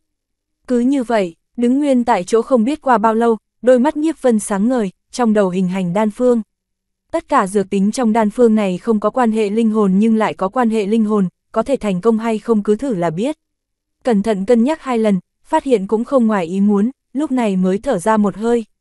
Trong lòng của hắn suy tính đan phương chưa bao giờ xuất hiện qua, cũng chưa bao giờ luyện chế qua, hắn chỉ căn cứ vào dược liệu mà luyện chế thành, dụng ý thực sự cũng không phải làm linh hồn phá cảnh, mà là làm cho thân thể long tinh hổ mãnh, cho dù thân thể, tinh lực hay khí thế đều tụ tập tới cực điểm. Vào lúc lực lượng toàn thân tập trung tới cực điểm, khí huyết sung túc, linh hồn đột phá sẽ dễ dàng rất nhiều. Bắt đầu đi, Bởi vì chưa bao giờ luyện chế đan dược này, tất cả đều là hắn suy tính mà ra, có thể thành công hay không còn chưa biết được. Những dược liệu này tối đa chỉ có thể thành công luyện chế đan dược gia tăng thân thể mà thôi, lúc này không hề nghĩ nhiều, bàn tay lăng không một chảo, dược liệu bay vào lòng bàn tay, hỏa diễm bốc lên thiêu đốt dược liệu. Hắn là người trong nghề luyện đan, tăng thêm thiên phú đan hỏa cho nên luyện đan dược này không cần lò đan. Âm ầm ầm, qua chừng một bữa cơm, một viên đan dược hình thành trong lòng bàn tay của hắn, nó tỏa ra mùi thuốc làm tâm thần người ta chấn động, thoải mái không nói nên lời. Thành công, đan hỏa biến mất, nhiếp vân lăng không một chảo, đan dược rơi vào lòng bàn tay, lúc này hắn đặt đan dược vào khu vực kiểm tra đan dược. Phần phật, trận pháp tiếp xúc với đan dược, đột nhiên tháp cao nổ vang, một truyền tống ta ẩn xuất hiện chớ ức mặt, sau một khắc hắn đã tới tầng 12. Thành công, nhìn thấy cảnh tượng như vậy, nhiếp vân biết rõ suy đoán của mình là chính xác, trong nội tâm âm thầm buông lỏng một hơi, lại học được kỹ xảo. Phá hồn đan khác với đan dược bình thường, đi con đường quang co vòng vèo, mỗi dược liệu trong đó không có cái nào gia tăng linh hồn, lại có thể làm cho linh hồn phá cảnh, kỹ xảo đủ làm người khác tán thưởng. Thiên địa tạo nhân, thân, hồn, phách, lực, huyết, khí, hoàn toàn cân đối, một phương tăng lên, một phương khác cũng phải tăng lên duy trì cân bằng này, tăng lên 5 loại, một loại khác bị ảnh hưởng. Cũng tăng lên, giống như kẻ điếc thường có đôi mắt tốt hơn người thường, kẻ mù lòa có thính lực mạnh hơn người khác. Đạo lý là giống nhau, trong nội tâm có cảm ngộ, nhiếp vân cảm thấy vòng tròn đại đạo càng viên mãn, tâm linh tăng vọt. Hắn chậm rãi tiêu hóa thứ vừa mới cảm ngộ, nhiếp vân ngẩng đầu nhìn lên phía trước. Trước mắt là lò binh khí, chung quanh có một ít tài liệu hy hữu, không cần nhìn, tầng vừa rồi luyện đan, tầng này luyện chế binh khí. Dùng những tài liệu bình thường luyện chế hỗn độn thần binh đỉnh phong. Xem yêu cầu một hồi, nhìn tài liệu trên mặt đất, nhiếp vân cau mày suy nghĩ. Lần này càng khoa trương, cho một đống tài liệu bình thường, yêu cầu lại là hỗn độn thần binh đỉnh phong, độ khó to lớn còn hơn lúc nãy rất nhiều. Với luyện bảo sư cao minh đây là chuyện không cách nào hoàn thành, nhưng đối với ta mà nói nó là chuyện đơn giản. Một lát sau, nhiếp phân cười, không bột đố gột nên hồ, luyện bảo sư cao minh cỡ nào, nếu như không có đầy đủ tài liệu cũng không có khả năng luyện chế ra binh khí tốt, đây là đạo lý được công nhận, nhưng với hắn mà nói không phải không thể. Phù văn trên khóa sắt thập tuyệt cổ địa triệt để dung nhập vào linh hồn và thân thể của hắn, tuy không hiểu ý nghĩa của những phù văn này nhưng phục chế nó và khắc lên binh khí không thành vấn đề. Chỉ cần thành công, bằng vào những phù văn thần kỳ này hoàn. Toàn có thể tăng binh khí lên một cấp bậc, mặc dù không luyện thành hỗn độn thần binh thượng phẩm, khắc phù văn cũng có thể giúp nó tấn cấp đỉnh phong. Bắt đầu đi, nhìn quanh một vòng, xem đống tài liệu, nhiếp phân tùy ý ném vào lò luyện, hỏa diễm cực nóng làm hỏa diễm hòa tan, lực lượng cường đại hội tụ thành thiết giản. Khắc phù văn, ngón tay điểm một cái, đầu ngón tay hóa thành từng đường vân quỷ dị, lập tức khắc phù văn lên đó. Ông, thiết giản chấn động lắc lư và phóng ra hào quang cực mạnh, một đạo khí tức phá không sinh ra, còn chưa triệt để luyện chế thành công đã cho thấy uy lực. Vèo, thiết giản bay ra khỏi lò, nó cắm vào đài kiểm nghiệm trên tháp. Âm âm âm, nhiếp vân chấn động lần nữa, hắn đã tiến vào 13 tầng. Từng bước đi lên đỉnh tháp, không nhanh không chậm, nhiếp vân dùng năng lực 3.000 đan điền phá giải tầng tầng khó khăn, nhìn thì không tính là phức tạp, sử dụng thời gian không nhiều lắm nhưng cả lưu ly tháp đã điên mất rồi. Siêu siêu siêu, trên tầng cao ngất lưu ly tháp có mấy thân ảnh lóe sáng, đồng thời xuất hiện. Tháp chủ, các người gọi chúng ta tới làm gì? Ngân Nguyệt trao đổi đại hội nho nhỏ có lẽ không đến mức triệu hoán tất cả chúng ta tới A. Ta đang bế quan tu luyện trùng kích cảnh giới, ngươi triệu hoán gấp gáp như vậy ta còn tưởng chuyện gì, bỏ cơ hội đột phá, lần sau muốn tìm cơ hội như vậy không biết tới năm nào tháng nào. Tháp chủ, rốt cuộc xảy ra chuyện gì? Mấy thân ảnh xuất hiện và phàn nàn, mấy người kia rõ ràng đều là nữ tử, tuy dung mạo trung niên nhưng làn da trắng nõn giống thiếu nữ. Người được các nàng gọi là tháp chủ đang ngồi ở giữa, hai mắt nghiêm túc và trang trọng, mang theo khí chất lạnh như băng, cũng là nữ tử trung niên, hai mắt như hồ sâu, mang theo một tầng mê huyễn làm cho người ta không rõ thực lực cao thâm cỡ nào, càng nhìn không ra cảm xúc chấn động. Trên gương mặt của nàng không lưu lại dấu vết thời gian, có thể nhìn ra khi còn trẻ tất nhiên có dung mạo khuynh quốc khuynh thành. Các ngươi xem đi, chương 2217, Dục thân viêm viêm công 1. Chuyện được thực hiện bởi obookaudio.com. Không để ý tới mọi người phàn nàn, nữ tử vươn tay và một đám sương mù xuất hiện, lập tức hình thành hình dáng lưu ly tháp, ngọn tháp đang có tầng tầng hào quang bao phủ. Có người sông tháp, hơn nữa đến tầng thứ 13. Là ai? Đã xảy ra chuyện gì? Nhìn thấy hình dáng lưu ly tháp trong sương mù, những người phàn nàn đều mở to mắt không nói ra lời. Biết rõ vì cái gì gọi các người tới chưa? Có thể leo lên tầng 13, thiên phú chân thật đáng tin, loại người tài giỏi này, trăm vạn năm không gặp một lần, nếu như có lưu thiên phú nay lại, lưu ly tháp chúng ta có thể quật khởi thành tông môn thứ năm cũng chưa biết chừng. Thấy thái độ mọi người chuyển biến, ánh mắt nữ nhân trung niên hưng phấn. Không sai, trước điều tra xem ra hỏa này có ó ối cảnh hay không, sau đó lại xử lý. Một phu nhân nói, người nói không tệ, sau khi điều tra xong lưu lại cho ta. Đại hỗn độn sất nữ tâm kinh của ta đã tu tới cực hạn, một khi có chỗ đột phá tất có thể trở thành tông chủ đỉnh phong, đột phá nửa bước chúa tể cũng chưa biết chừng, đến lúc đó lưu ly tháp mới quật khởi. Một nữ đứng lên, trong mắt mang theo hào quang như tơ. Mị cơ, người ít được tiện nghi mà khoe mẽ, lần trước ngươi chiếm kẻ sông tới tầng 8, lần này ngươi không thể chiếm, ta tu hành âm dương hòa tâm quyết tới cực hạn, có thiên tài như vậy trợ giúp, ta đột phá nửa bước chúa tể là chuyện ván đã đóng thuyền, ngươi lấy cái gì đoạt với ta. Lại một nữ tử lên tiếng, hừ, hai người các ngươi không sợ kẻ khác chê cười, đều là lão. Quái vật sống vài tỷ tuổi lại tranh đoạt một lô đỉnh, không sợ mất mặt.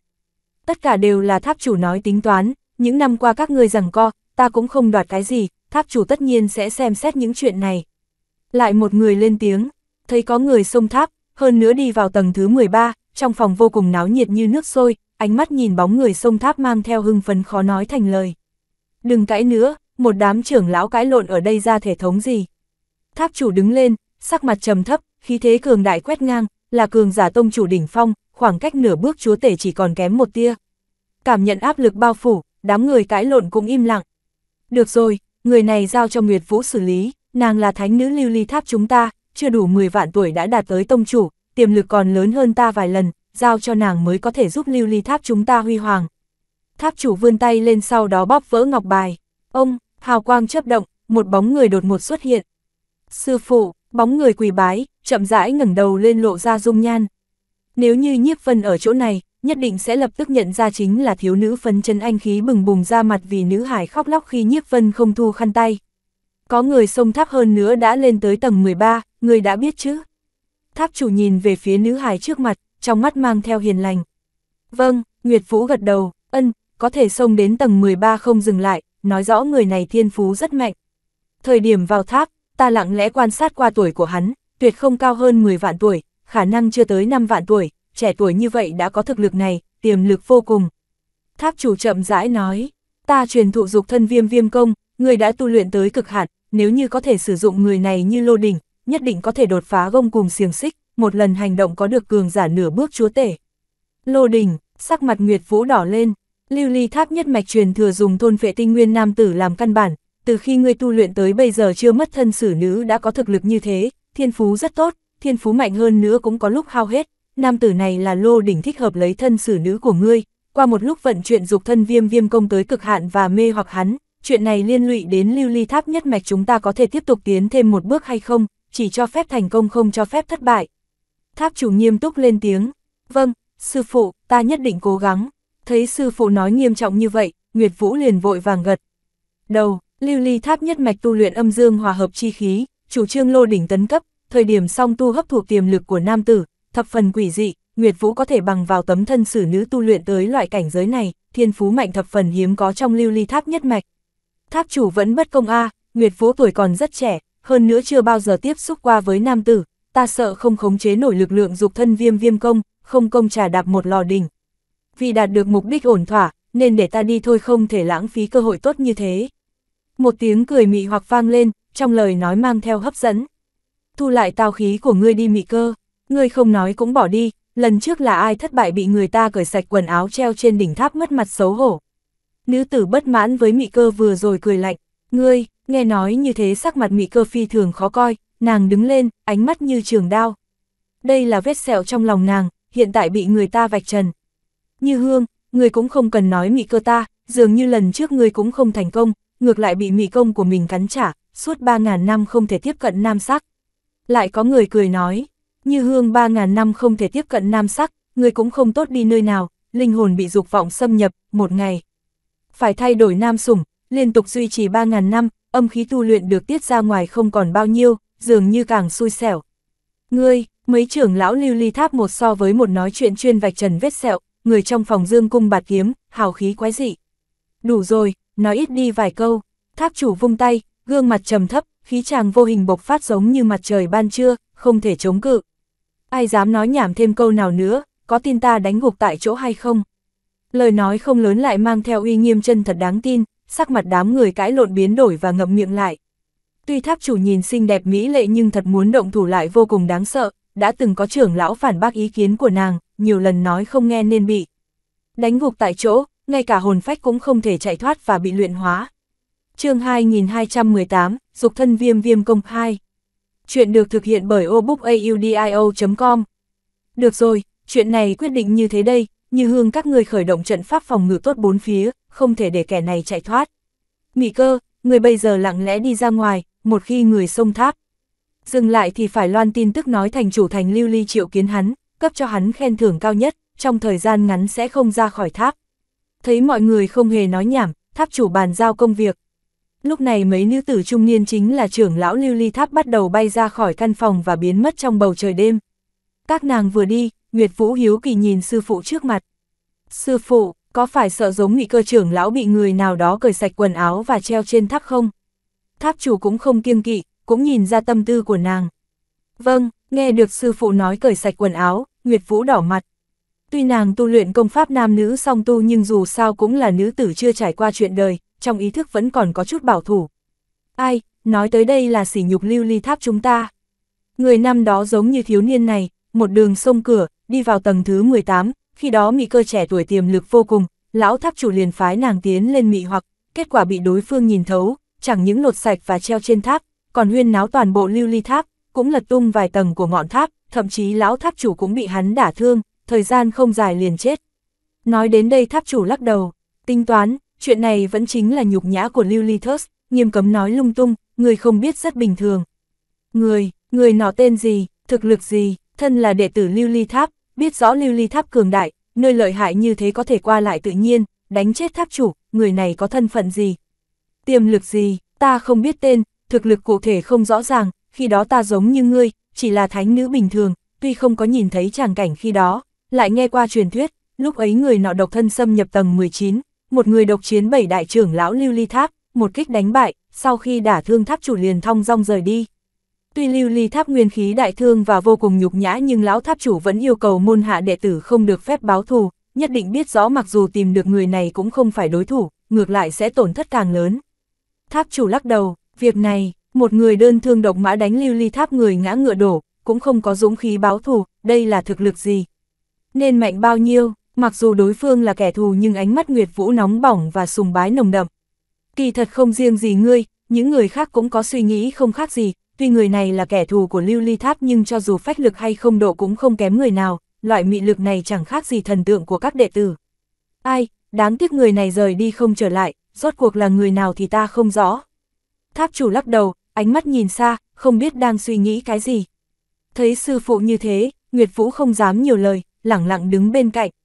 Qua một lúc người đi xuống, phối hợp trận pháp thi triển dục thân viêm viêm công chế tạo ảo cảnh mê hoặc hắn, nếu người này cam tâm tình nguyện kính dâng cho ngươi, ngươi sẽ đạt được chỗ tốt càng lớn, nhớ kỹ, nam tử trong thiên hạ đều là kẻ phục bạc, không nên động tình, cũng không cần có ý khác, trực tiếp hút khô lực lượng của hắn, ngươi do do dự dự sẽ không tốt.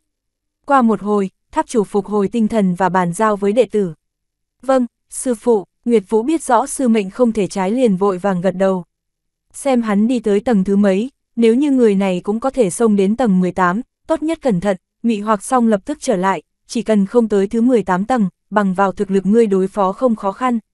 Tháp chủ bàn giao lần nữa, trong bàn tay xuất hiện tiểu tháp. Dường như tiểu tháp này là lưu ly tháp áp xúc mà thành, nhiếp vân đi tới nơi nào hào quang bắn ra khắp bốn phía. Đạt tới tầng 14 nhanh như vậy, nhìn thấy hào quang sinh ra, tháp chủ vô cùng kinh ngạc. Tầng 13 là binh đao gia thân, phá gan kinh hồn, người chưa bao giờ đi vào vừa mới vào bên trong tất nhiên sẽ bị thượng cổ thần thú phong tỏa trong đó dọa hỏng, thậm chí dũng khí bản thân bị đánh sơ xác, lúc trước ta qua tầng này cũng tốn hao thời gian 2 năm, tại sao hắn thông qua nhanh như thế? Nhìn thấy tiểu tháp tỏa sáng ở tầng 14, tháp chủ sướng sờ, gương mặt đầy kinh ngạc. Chẳng lẽ người này cũng có thể trùng kích tầng 18? Không có khả năng, từ tầng thứ nhất tới tầng 18, một khó hơn một, mặc dù thực lực của ta hiện tại rất khó xông qua, hắn chỉ là tiểu nhân vật chưa đủ 10 vạn tuổi, làm sao có thể? Tháp chủ lắc đầu, hiện tại ngươi lập tức đi xuống bố trí hoàn cảnh mê hoặc tiểu tử kia. Vâng, sư phụ, Nguyệt Vũ gật gật đầu, thân thể của nàng biến mất tại chỗ.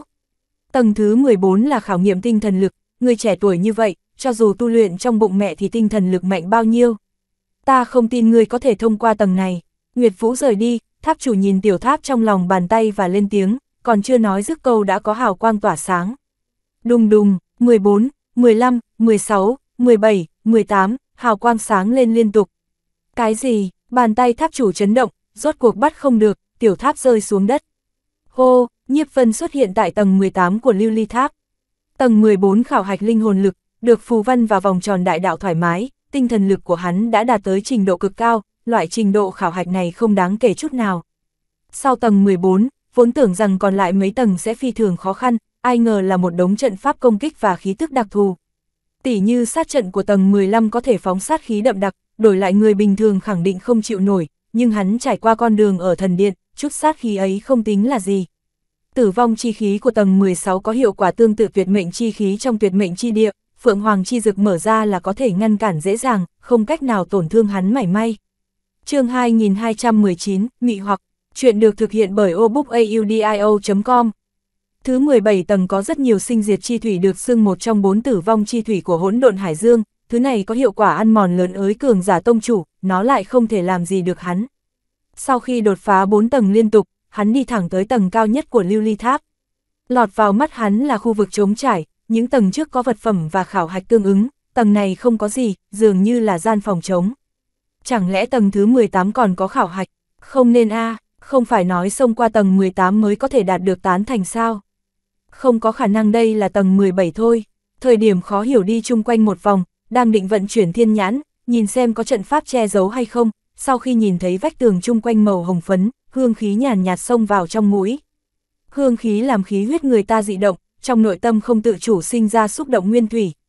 Hô, một bóng người đột ngột xuất hiện, là nữ nhân, nữ nhân phi thường xinh đẹp, nàng mặc quần áo đỏ nhạt, quần áo đơn bạc, đùi ngọc thon dài như ẩn như hiện, da thịt trắng tuyết mang theo màu hồng, có vách tường hồng phấn phụ trợ càng xinh đẹp mê người.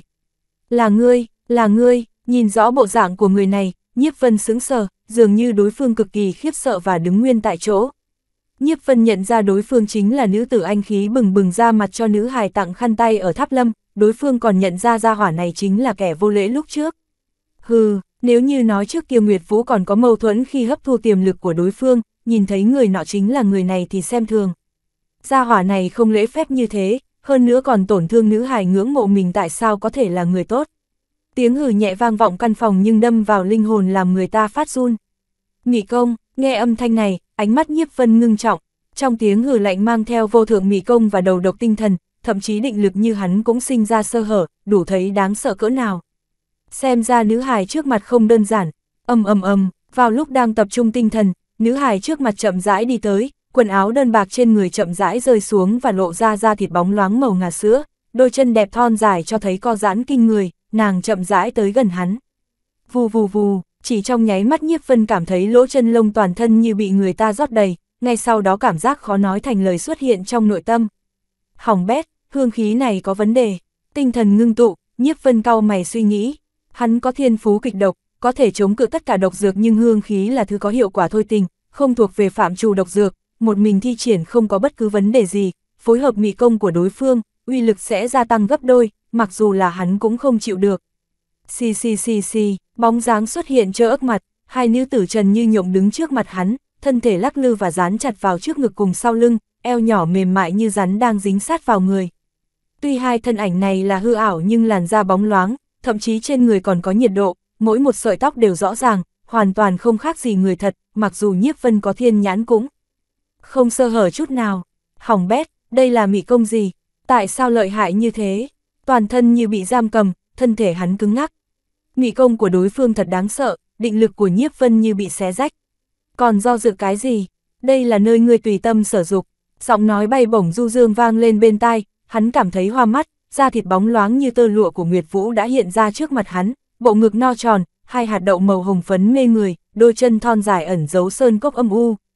Hắn nhìn rõ không sót thứ gì, Nguyệt Vũ đi tới, vòng eo nhỏ nhắc mềm mại như rắn, nhất cử nhất động mang theo mị lực đặc biệt, dường như mỗi cái cao mày cũng sinh ra hấp dẫn trí mạng với nam nhân.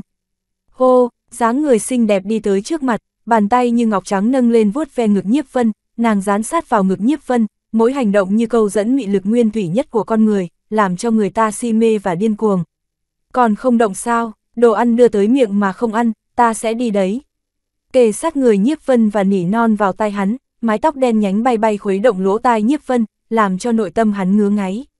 Thân thể mềm mại khẽ động, Nguyệt Vũ dịu dàng đi thẳng về phía trước, dường như muốn rời đi, vòng eo vặn vẹo như thần nữ nhảy múa. Không nên đi, ánh mắt nhiếp vân mê ly, hắn đi về phía trước sau đó đưa tay lên, nữ hải thuận thế đổ vào trong ngực hắn. Bàn tay chạm vào da thịt bóng loáng mê người, cảm xúc khó nói nên lời, dường như nhiếp vân bị mê hoặc và triệt để ngây ngốc, dường như muốn ôm nữ hải vào trong ngực và trà đạp. Hừ, quả nhiên không khác gì nam nhân khác, đều là sắc lang, hôm nay có chết cũng đừng trách ta. Nhìn thấy bộ dạng thiếu niên trước mặt, trong mắt Nguyệt Vũ mang theo lạnh ý, sát cơ sôi trào. Vốn tưởng rằng người này xông tới tầng 18 chính là anh hùng, sẽ chống cử mị hoặc, không thể ngờ không khác gì người bình thường khác, nhìn thấy sắc đẹp thì quên chính mình, loại người này chết chưa hết tội. Ánh mắt lạnh lùng, Nguyệt Vũ cũng không động thủ, bàn tay vuốt ve lồng ngực nhiếp vân, nàng muốn cuốn lấy hắn và nâng bờ môi đỏ mọng, thổ khí như lan, bộ dạng mặc ngươi hái, cầu quân thương tiếc. Tầng thứ 18, hỏng bét, Nguyệt Vũ đang vận chuyển dục thân viêm viêm công tới cực hạn, thân thể bắt đầu đỏ hồng, lúc này tháp chủ đứng ở tầng 19 nhìn tiểu tháp rơi xuống đất, đồng tử của nàng thu nhỏ lại. Hô, khẽ vẫy tay một cái nâng tiểu tháp lên, tinh thần khẽ động, một đạo ý niệm dùng nàng làm trung tâm và lan ra bên ngoài. Lúc này đối phương nhẹ nhõm xông vào tầng 18 làm nàng nhớ tới chuyện lần trước, chẳng biết tại sao nội tâm sinh ra cảm giác không tốt. Siêu siêu siêu siêu, niệm vừa ngừng, lúc này mấy trưởng lão bay trở lại trong phòng. Tìm chúng ta gấp gáp như thế, phát sinh chuyện gì? Mị cơ vừa xuất hiện liền cau mày, ngữ khí hơi khó chịu. Đúng vậy, tháp chủ, ta đang chấp hành nhiệm vụ ngươi bàn giao, vẫn chưa xong đâu vào đâu, lại phát sinh cái gì làm ngươi gấp gáp như thế. Như hương trưởng lão cũng đi tới. chương 2220, Kinh hồn vũ 1. Chuyện được thực hiện bởi obookaudio.com Các ngươi xem này, tháp chủ chẳng muốn giải thích, tiểu tháp bay tới và tỏa ra hào quang lúc này chiếu sáng ngọn tháp hoàn toàn. Tầng 18, gia hỏa này vào tầng 18 nhanh như thế, điều này sao có thể? Ngươi không phải nói hắn chưa tới 10 vạn tuổi sao? Sao có thể kháng cự khảo nghiệm tầng 17, tại sao lại nhanh chóng tiến vào tầng 18? Có thể vào tới tầng 18, chẳng lẽ chuyện lần trước tái diễn? Lần này hỏng bét, hỏng bét, mà kệ có tái diễn hay không, người này tất nhiên không phải chúng ta có thể đắc tội, thật sự không được, bỏ đi. Nhìn thấy tiểu tháp phóng thích hào quang, sắc mặt mấy trưởng lão biến hóa. Chuyện lần trước ập tới như thủy triều, tuy không biết thực lực cụ thể của người sông tháp nhưng lại biết có thể nhất cổ tác khí sông đến thứ 18 tầng cũng không phải thể hiện dễ sống chung. Ân, ta cũng nghĩ như vậy, lần này thôi đi. Tháp chủ thấy mọi người có thái độ này liền thở ra một hơi, đang muốn tiếp tục nói chuyện, nhìn chung quanh một vòng và biến sắc. Tại sao Nguyệt Vũ còn chưa đi lên, nàng sẽ không thi triển dục thân viêm viêm công đi mê hoặc đối phương chứ, hỏng bét. Cái gì, nghe được tháp chủ kinh hô, mọi người này mới phát hiện Nguyệt Vũ không có mặt ở đây, vẻ mặt trắng bệch giống như nhìn thấy chuyện đáng sợ nhất. Người muốn giết ta, trong tầng 18, thiếu niên đang ôm thân thể mềm mại và mê ly, đột nhiên hắn mở mắt ra và kim quang bắn ra khắp bốn phía giống như mặt trời sáng ngời. Lúc này chỉ cần người sáng suốt có thể nhìn ra, bộ dạng này làm gì bị mê hoặc chứ? Cái gì, Nguyệt Vũ đã giật mình, đang muốn chạy trốn, đột nhiên thân thể mềm mại cứng lại, thì ra nàng bị bàn tay của đối phương giữ lại, cũng không thể trốn thoát. Ba, thân thể mềm mại chấn động, một cái tát vỗ vào bờ mông đầy đặn của nàng, âm thanh thanh thúy vang dội quanh quẩn cả gian phòng. Ngươi, bị vỗ vào mông, toàn thân Nguyệt Vũ run rẩy suýt nữa bất tỉnh. Nàng đường đường cường giả cấp bậc tông chủ, là bá chủ một phương, mặc dù tại thành lưu ly cũng là Minh Châu được nâng niu, không ai làm gì nàng, đã khi nào bị vỗ mông thế này. Làm sao, loại mị công này cũng muốn mê hoặc ta, người quá đề cao mình hay xem thường người khác, nhiếp vân ngoài miệng nói nhẹ nhõm nhưng trong lòng nói thầm một tiếng nguy hiểm thật. Đối phương mị hoặc phối hợp hương khí đặc thù quả nhiên đáng sợ, mặc dù tâm thần hắn vững như sắt cũng không chịu nổi, thiếu chút nữa bị nàng triệt để mê hoặc lâm vào trầm luân. Thời khắc mấu chốt vận chuyển lực lượng phù văn trong linh hồn mới giúp hắn thanh tình. Không mê hoặc được ngươi, giết ngươi đủ rồi. Không nghĩ tới nàng vất vả tu luyện mị công, lần thứ nhất thi triển đã bị phá giải, Nguyệt Vũ vừa thẹn vừa giận, thân thể chấn động mạnh sau đó thoát đi như du ngư, tiên lực hùng hậu bắn ra ngoài, lăng không một chảo cầm cây roi trong tay, lúc này nàng đánh thẳng về phía nhiếp vân. Cây roi này là một kiện hỗn độn thần binh đỉnh phong, phối hợp thực lực cấp bậc tông chủ của nàng giống như lưỡi đao, chỉ trong chốc lát không khí nổ vang, tiếng nổ mạnh lan về phía trước. Không chiến đấu khá tốt, vừa đối diện với nhiếp vân, bởi vì tức giận cho nên thân thể đỏ rực, làn da của nàng sáng bóng óng ánh, tăng thêm một phần mị hoặc. Đối mặt với tình cảnh như thế, nhiếp vân lắc đầu. Hắn không phải thánh nhân, đối mặt nữ sắc câu dẫn mà không. Động lòng, tuy mị hoặc qua đi cho nên không xem vào đâu, phù văn không ngừng tỏa sáng trong linh hồn, ngón trỏ ngón giữa điểm về phía trước, cây roi hỗn độn thần binh đỉnh phong bị ngón tay bắt lấy, hắn xoay cổ tay, cây roi lập tức bay ra khỏi tay của nàng. Ngươi là cường giả, tông chủ đỉnh phong, nhìn thấy chiêu mạnh nhất của mình không thể làm gì được đối phương, Nguyệt Vũ mới biết đáng sợ, đối phương lợi hại hơn tưởng tượng của nàng nhiều. Vừa rồi nàng bị bắt, chỉ cảm thấy đối phương ra tay đánh lén, thừa dịp nàng không bị nên đắc thủ, hiện tại xem ra mặc dù nàng có chuẩn bị cũng không phải đối thủ của người ta. Tuyệt đối đạt tới tông chủ đỉnh phong, cho dù là tông chủ đỉnh phong cũng vô dụng, dục thân viêm viêm công đệ cửu truyền, kinh hồn vũ. Ngạc nhiên chỉ xuất hiện thoáng qua trong mắt, đôi mi nguyệt nhíu lại, nàng lăng không một chảo, tiên lực biến ảo thành quần áo bao phủ thân thể, nàng lúc này biến thành chim én nhỏ. Cũng như tên của nàng, nàng cũng không công kích mà lại khiêu vũ. Dục thân viêm viêm công đệ cửu truyền, tuyệt chiêu mạnh nhất kinh hồn vũ. Một nhảy câu hồn đoạt phách, hai nhảy kinh hồn, ba nhảy tâm thần đoạt. Tuyệt chiêu cường đại nhất của dục thân viêm viêm công. Xì xì xì xì, nương theo vũ bộ của nàng, từng đạo tình dục chi niệm bao phủ. Hắn vào trong, giống như ném đá vào trong hồ nước, từng gợn sóng lan ra chung quanh. Khó trách tháp lâm tổ chức Nguyệt Lão Đại hội, thì ra là muốn tụ tập thất tình chi niệm. Nhìn thấy khí lưu đặc thù tầng tầng vào tới, tâm thần nhiếp vân chấn động và xuất hiện mê hoặc ngắn ngủi, hắn đã lập tức hóa giải tình huống trước mắt. Tháp lâm tổ chức Nguyệt Lão Đại hội, tụ tập vô số thanh niên nam nữ tới đây, một khi sinh sôi tình yêu tất nhiên sẽ có tình dục chi niệm, những vật này dần dần lên men và bị rất nhiều phù văn của tháp lâm hấp thu, hội tụ hình thành chỗ dựa giúp người khác tu luyện. Khó trách trước kia cảm thấy phù văn trên tháp lâm không đơn giản chỉ là trang trí, thì ra mục đích chính là như thế. Loại tình dục chi niệm này khác với tà ma ngoại đạo dâm tà dục vọng, là tướng niệm đơn thuần của nam nữ, là ký thác tình cảm, mối tình đầu thường rất đẹp, cũng không có chút tạp chất nào, dùng thứ này tu luyện chẳng những uy lực càng mạnh hơn nữa, thi triển mị hoặc còn đáng sợ hơn nhiều. Ngay cả hắn cũng trúng chiêu, xem ra lưu ly tháp cũng không đơn giản giống như tưởng tượng, phi thường đáng sợ. Nhưng ý nghĩ này vừa xuất hiện trong đầu, Nguyệt Vũ nhảy múa kinh hồn vũ với tốc độ càng lúc càng nhanh, gợn sóng nhộn nhạo càng lúc càng mạnh, lúc này gian phòng hình thành khí tức màu hồng phấn đâm thẳng linh hồn. Khí tức vang lên bên tai giống như tình nhân thổ lộ, trong nháy mắt làm nhiếp vân cảm thấy đạm đài lăng nguyệt đang ở trước mặt mình, nhìn thấy người mình yêu tha thiết phong ấn trong thiên đạo và không ngừng thút thiết nỉ non. Nghe tiếng khóc như thế, trái tim nhiếp vân co thắt mạnh như bị đau cắt. Khi trọng sinh, nội tâm của hắn chỉ có hai tàn niệm, thứ nhất, báo thù vì phụ mẫu thân hiếu, thứ hai, đạm đài lăng nguyệt. Và, chương 2221, Kinh hồn vũ 2. Chuyện được thực hiện bởi obookaudio.com Sau khi sống lại đã giải quyết chuyện phụ mẫu thân hiếu, đạo chấp niệm này đã biến mất, sau khi đi tới linh giới, vốn tưởng rằng chuyện đạm đài lăng nguyệt cũng có thể giải quyết viên mãn, lại không thể ngờ vì ổn định lục đạo sắp sụp đổ, nàng kính dâng chính mình. Chuyện này chính là đau đớn lớn nhất trong nội tâm của hắn, ban đầu hắn ngồi suốt ba vạn năm trên thiên địa lục đạo chỉ vì muốn nghe âm thanh của nàng, nghe nàng thổ lộ hết, lúc này nghe tiếng khóc làm trái tim hắn như tan nát, khóe mắt đỏ lên. Nguyệt Nhi, là ta không thể bảo vệ tốt ngươi, tuy ta có thực lực không người thiên địa lục đạo nào có thể sánh được nhưng không có người ở cùng, không có cảm giác vinh quang hay an bình.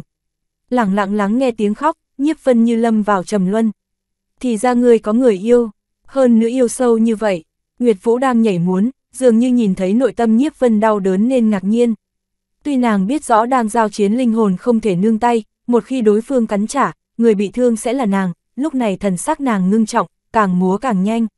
Lực lượng sinh ra gợn sóng nhanh hơn, tinh thần oanh kích càng. Lúc càng mạnh, nhiếp vân đứng nguyên tại chỗ giống như bị nàng chinh phục không thể nhúc nhích. Tầng thứ 18, nhiếp vân giao chiến linh hồn với Nguyệt Vũ, đám người tháp chủ tại tầng 19 cũng tỉnh táo lại. Đã đi tìm Nguyệt Vũ, nàng khẳng định đang ở tầng 18, chúng ta mau qua cứu nàng. Một trưởng lão vô cùng lo lắng lên tiếng, trưởng lão này nói xong muốn đi tới tầng 18, còn chưa rời đi đã bị tháp chủ cản lại. Không vội, nếu như Nguyệt Vũ đối mặt người này, khẳng định đã thi triển dục thân viêm viêm công, đối chiến linh hồn tối kỵ quấy nhiễu, chúng ta đi qua chỉ làm nàng phân tâm và tẩu hỏa nhập ma, quá nguy hiểm. Tháp chủ nói không sai, hiện tại không nên đi qua. Nghe được tháp chủ phân tích, một trưởng lão cũng gật gật đầu. Giao chiến linh hồn tối kỵ quấy nhiễu, vạn nhất các nàng tiến lên, cứu người không thành, gây chuyện không tốt còn biến thành chuyện xấu. Vậy làm sao bây giờ? Chúng ta không thể cứ chờ đợi ở đây a à? Trưởng lão vừa rồi sốt ruột lên tiếng. Không cần, đây là lưu ly tháp lệnh, có công năng chiếu sáng 18 tầng, chúng ta ở chỗ này quan sát, nếu như Nguyệt Vũ xuất hiện nguy hiểm liền đi qua cũng không muộn. Tháp chủ lại cầm tiểu tháp ra, tiểu tháp này chính là hạch tâm tất cả cấm chế của lưu ly tháp, có thể chiếu rọi tất cả tình huống trong lưu ly tháp. Điểm về phía trước, một đạo quang mang sinh ra và hình ảnh xuất hiện trước mặt bọn họ. Tầng 18 của tiểu tháp tỏa sáng, mấy đạo quang mang chiếu sáng không chung, cũng nhìn rõ tình hình trong tầng 18. Chỉ thấy trong tòa tháp rộng lớn, Nguyệt Vũ không ngừng thi triển kinh hồn vũ, vũ bộ rất nhanh, làm cho tình dục chi niệm càng ngày càng mạnh, chậm rãi tràn ngập cả gian phòng, mà thiếu niên đứng đối diện với nàng cao mày giống như sắp không chịu nổi và lâm vào trầm mê. May mắn vừa rồi không xuống, Nguyệt Vũ sắp thắng. Nhìn thấy cảnh tượng như vậy, mọi người đồng thời thở ra một hơi, sắc mặt vui vẻ. Những người vừa rồi hoài nghi năng lực của Nguyệt Vũ cũng thở dài. Nguyệt Vũ còn mạnh hơn tưởng tượng của chúng ta, xem ra người này trở thành lô đỉnh là chuyện ván đã đóng thuyền. Nghị cơ cười nói, ân, mọi người cùng gật đầu, thời điểm mọi người hưng phấn, đột nhiên. Nghị cơ nhìn thấy tháp chủ cao mày, nàng kỳ quái hỏi. Như thế nào, tháp chủ, chẳng lẽ còn có lo lắng hay sao? Người bị mị hoặc phải là không thể kiềm chế tình dục chi niệm, tư duy không do mình khống chế, mà thiếu niên này đang nhớ lại chứ không phải đầu độc. Tháp chủ nói, ân, nghe nói như thế, mọi người đều sững sờ, hưng phấn biến mất, lúc này quả nhiên phát hiện không đúng. Tuy thiếu niên cao mày và không ngừng run rẩy, biểu lộ xem có chút khó chịu nhưng hoàn toàn không bị tình dục chi diệm màu hồng chung quanh ảnh hưởng, mà là phối hợp nhớ lại cái gì đó. Lăng Nguyệt đã hóa thân thiên đạo, nghĩ nhiều hơn cũng vô dụng. Hiện tại ta phải chặt đứt nhớ mong này, không thể tiếp tục chấp niệm. Thời điểm đám người tháp chủ đang nghi hoặc, nhiếp vân tại tầng 18 mở mắt ra, đôi mắt đen nhánh có phủ văn vần quanh, kim quang bắn ra như điện và sáng lên. 3. Hình ảnh trước mặt tháp chủ nổ tung thành bọt nước. Ban đầu trong ảo cảnh cương vực đồ, khảo nghiệm lớn nhất là đạm đài lăng nguyệt, hiện tại bị đối phương sử dụng kinh hồn vũ mị hoặc cũng là nàng.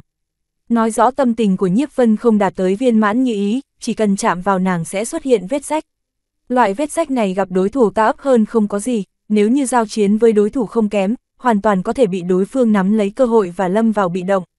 Chính bởi vì ý thức được điểm này, nhiếp vân cũng không tận lực chống cự, mà là để kinh hồn vũ tùy ý xâm nhập linh hồn và đào móc đau thương, đau xót giống như mủ độc, đào càng sâu càng đau, một khi chảy sạch sẽ liền khỏi hẳn. Cho nên nhiếp vân cẩn thận hiểu rõ cảm giác đau đớn này, càng ngày càng lo lắng, càng ngày càng đau đớn. Đổi lại người khác làm như vậy nhất định sẽ khó có thể tự kiềm chế, hắn thì khác, là người của hai thế giới cho nên tâm niệm và nghị lực càng kiên định, chờ tình dục chi niệm của đối phương ảnh. Hưởng tới mức lớn nhất, phù văn trong linh hồn tỏa sáng và chặt đứt. Âm âm, chỉ trong nháy mắt ánh mắt nhiếp vân thanh minh và triệt để tỉnh táo lại, kinh hồn vũ không thể ảnh hưởng tới hắn, thậm chí chấp nhiệm đạm đài lăng nguyệt trong đầu cũng mỏng manh, không thể ảnh hưởng tới hắn nắp. Là, tuệ kiếm, nhìn thấy hai mắt thiếu niên bắn ra kim quang lập lòe, tất cả hình ảnh biến mất làm tháp chủ siết chặt nắm đấm. Tuệ kiếm, mọi người sững sờ, thiếu niên này căn bản không bị Nguyệt Vũ mê hoặc, hắn đang đùng kinh hồn vũ của nàng tôi luyện linh hồn, ngừng tụ tuệ kiếm chặt đứt chấp niệm trong nội tâm. Hai mắt tháp chủ mang theo điên cuồng, tại sao có người ý chí kiên định như thế, lại làm điên cuồng như vậy? Tuệ kiếm, nghe nói đây là thứ cường giả chúa tể mới có được, có thể tùy ý chặt đứt suy nghĩ mặt trái của bản thân, làm cho người ta bảo trì trạng thái thanh tỉnh nhất, bất cứ linh hồn công kích nào cũng không thể tạo thành ảnh hưởng, chẳng lẽ hắn là cường giả chúa tể? Nghị cơ biến sắc, tuệ kiếm, đó là trí tuệ hình thành mũi kiếm, có thể chặt đứt bất cứ tạp niệm nào trong linh hồn, loại năng lực này chỉ có cường giả chúa tể mới làm được, chẳng lẽ người trước mắt là chúa tể? chương 2222, Tuệ Kiếm, chuyện được thực hiện bởi obookaudio.com Không phải chúa tể, nếu như là chúa tể, Nguyệt Vũ nhảy nhanh hơn nữa cũng không thể ảnh hưởng, càng không ngưng tụ tuệ kiếm vào lúc này. Linh hồn hắn phát ra chấn động hẳn là tông chủ đỉnh phong, thậm chí đã đạt tới 2990 đầu đại đạo, thực lực tương tự như ta. Tháp chủ nói, cường giả chúa tể không chỉ 3.000 đại đạo viên mãn, quan trọng hơn là linh hồn viên mãn, lúc này thức hải có thể sinh ra tuệ kiếm, dễ dàng chặt đứt suy nghĩ không cần thiết, nếu như thiếu niên trước mắt là cường giả chúa tể, không cần khó khăn như vậy, tạm thời dùng đại nghị lực phá vỡ cảnh giới linh hồn. Nhìn đối phương sinh ra tuệ kiếm có uy lực không mạnh, hơn nữa vừa mới hình thành, linh hồn chấn động cũng không mạnh hơn nàng quá nhiều, có lẽ chỉ là cường giả tông chủ đỉnh phong, khoảng cách chúa tể còn rất lớn. Chỉ cần không phải chúa tể thì không cần sợ, nhanh chóng cứu Nguyệt Vũ. Trưởng lão vừa rồi muốn cứu Nguyệt Vũ không do dự nữa, nàng lập tức biến mất khỏi tầng 19. A, hai mắt nhiếp vân bắn ra kim quang, Nguyệt Vũ trước mặt bị hào quang bắn trúng, bước nhảy cũng dừng lại, toàn thân cứng đờ, đồng tử thu nhỏ lại và ngã trên mặt đất. Vù vù vù, Nguyệt Vũ vừa ngã xuống, tám người đồng thời xuất hiện chiếm cứ đông, nam, tây, bắc, đông nam, đông bắc, tây nam, tây bắc tám hướng và bao phủ nàng vào bên trong. Người ở mặt đông nhìn nàng, Nguyệt Vũ, trưởng lão biến mất đầu tiên nhanh chóng lao về phía Nguyệt Vũ, nàng hô to sau đó nhìn về phía nhiếp vân. Ngươi làm gì nàng, nếu như nàng có chuyện gì, ta sẽ làm ngươi chôn cùng.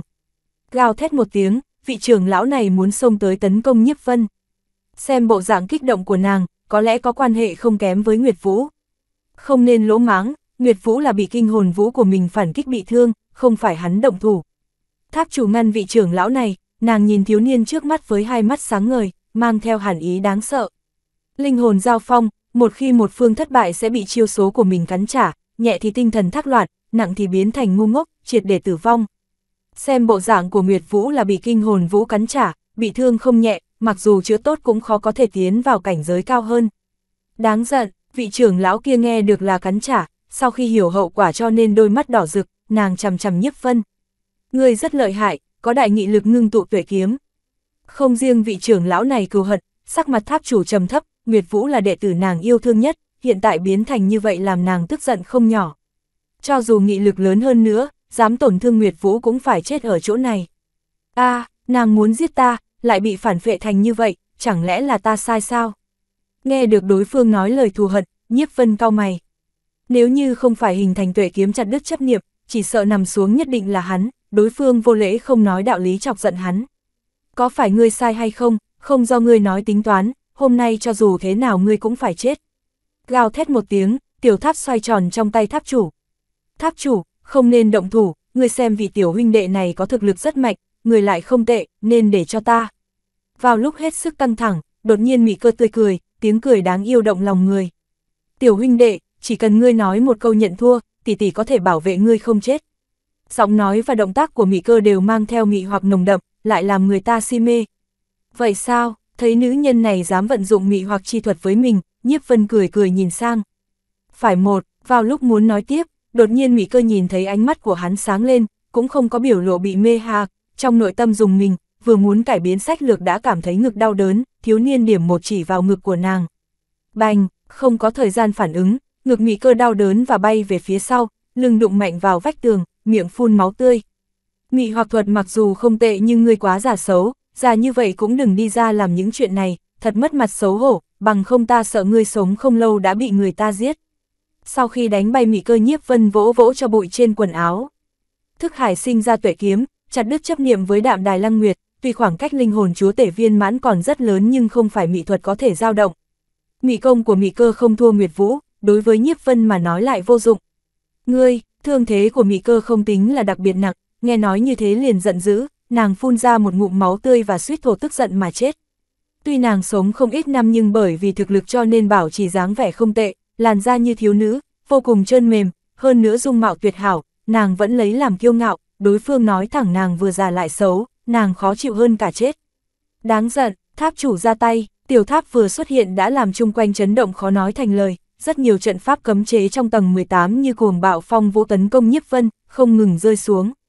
Những cấm chế công kích mang theo lực lượng của cường giả tông chủ đỉnh phong tấn công, đồng thời đánh xuống sẽ làm không gian rung động giống như tùy thời vỡ vụn. Không kích không tệ, đối mặt cấm chế của lưu ly tháp công kích, nhiếp vân không bỏ chạy và lui ra sau, ngược lại tán thưởng, ngón tay điểm về phía trước, liên tục điểm ba cái. Mỗi một điểm, ở đầu ngón tay hình thành vòng tròn và nổ tung, cũng ngăn cách tất cả cấm chế ra ngoài, vòng tròn nhìn vô cùng đơn bạc nhưng cho người ta cảm giác gió thổi qua sẽ vỡ vụn, cấm chế có lực công kích của tông chủ đỉnh phong bị ngăn cản bên ngoài, quả thực không thể tưởng tượng nổi. Ba đạo vòng tròn tiêu tán, cấm chế hình thành công kích cũng không còn giống như chưa từng xuất hiện bao giờ. Đăng đăng đăng đăng, nhiếp vân không có việc gì, sắc mặt của tháp chủ biến hóa, vòng tròn nổ tung hình thành vòi rồng đánh thẳng vào ngực của nàng, nàng liên tục lui về phía sau 7-8 bước, cũng giống đám người mị cơ lưng đâm vào vách tường mới dừng lại. Tuy dừng lại, dung mạo lại biến hóa liên tục, khác với tự tin lúc trước, nhất là đôi mắt mang theo hoảng sợ, bờ môi run rẩy, giọng nói không dám tin tưởng vang lên. Nửa bước chúa tể, cái gì, ngươi không phải tông chủ đỉnh phong, thực lực nửa bước chúa tể. chương 2223, thần phục ta. Chuyện được thực hiện bởi obookaudio.com Nửa bước chúa tể có tuổi chưa tới 10 vạn năm, chúng ta đang vây công cường giả nửa bước chúa tể. Nghe được tháp chủ run rẩy lên tiếng, đối phương tùy ý đánh bay mị cơ, thần thái tháp chủ và mọi người cứng đờ, thân thể phát run. Tông chủ đỉnh phong có thực lực 2.990 đầu đại đạo và nửa bước chúa tể 2.991 đầu đại đạo chỉ kém nhau một đại đạo, thực lực chênh lệch như trời và đất, hoàn toàn không thể so sánh nổi. Tháp chủ thủ đoạn ra hết có thể đánh chết cường giả tông chủ đỉnh phong 2.990 đầu đại đạo, nhưng đối mặt nửa bước chúa tể bình thường nhất lại không có khả năng hoàn thủ. Một nửa nửa bước chúa tể chưa tới 10 vạn tuổi, rốt cuộc xảy ra chuyện gì? Mọi người cùng nhau động thủ, trưởng lão quan hệ tốt với Nguyệt Vũ lao tới, lăng không đánh một chảo, lòng bàn tay cầm một cây xuyên phá không đâm về phía trước, cây xuyên đâm thẳng vào mi tâm nhiếp vân. Siêu siêu siêu, nàng động, mấy vị trưởng lão khác cũng đồng thời động thủ, bọn họ cùng thi triển tuyệt chiêu mạnh nhất của mình. Vài kiện hỗn độn thần binh đỉnh phong xoay tròn trên không trung, hình thành bố cục thất tinh, lực lượng cường đại ngưng tụ giống. Như muốn xé bầu trời, đâm thủng hoàn vũ. Trận pháp, nhiếp vân vốn khinh thị cũng biến thành ngưng trọng. Bảy người này có thực lực tông chủ bình thường nhưng liên hợp cùng một chỗ, bố trí thành trận pháp, sức chiến đấu hơn xa một cộng một, bảy người có thể phát huy thực lực tông chủ đỉnh phong, khoảng cách nửa bước chúa tể chỉ kém một bước nhỏ. Bắc đấu thất tinh trận tụ tập trên không trung, hỗn độn hải dương khổng lồ như đạt được cảm ứng và tỏa ra hào quang sáng chói huy hoàng, hào quang chiếu xuống vị trí diêu quang, thiên khu và ngưng tụ thành kiếm khí, không khí chung quanh như bị đánh nát.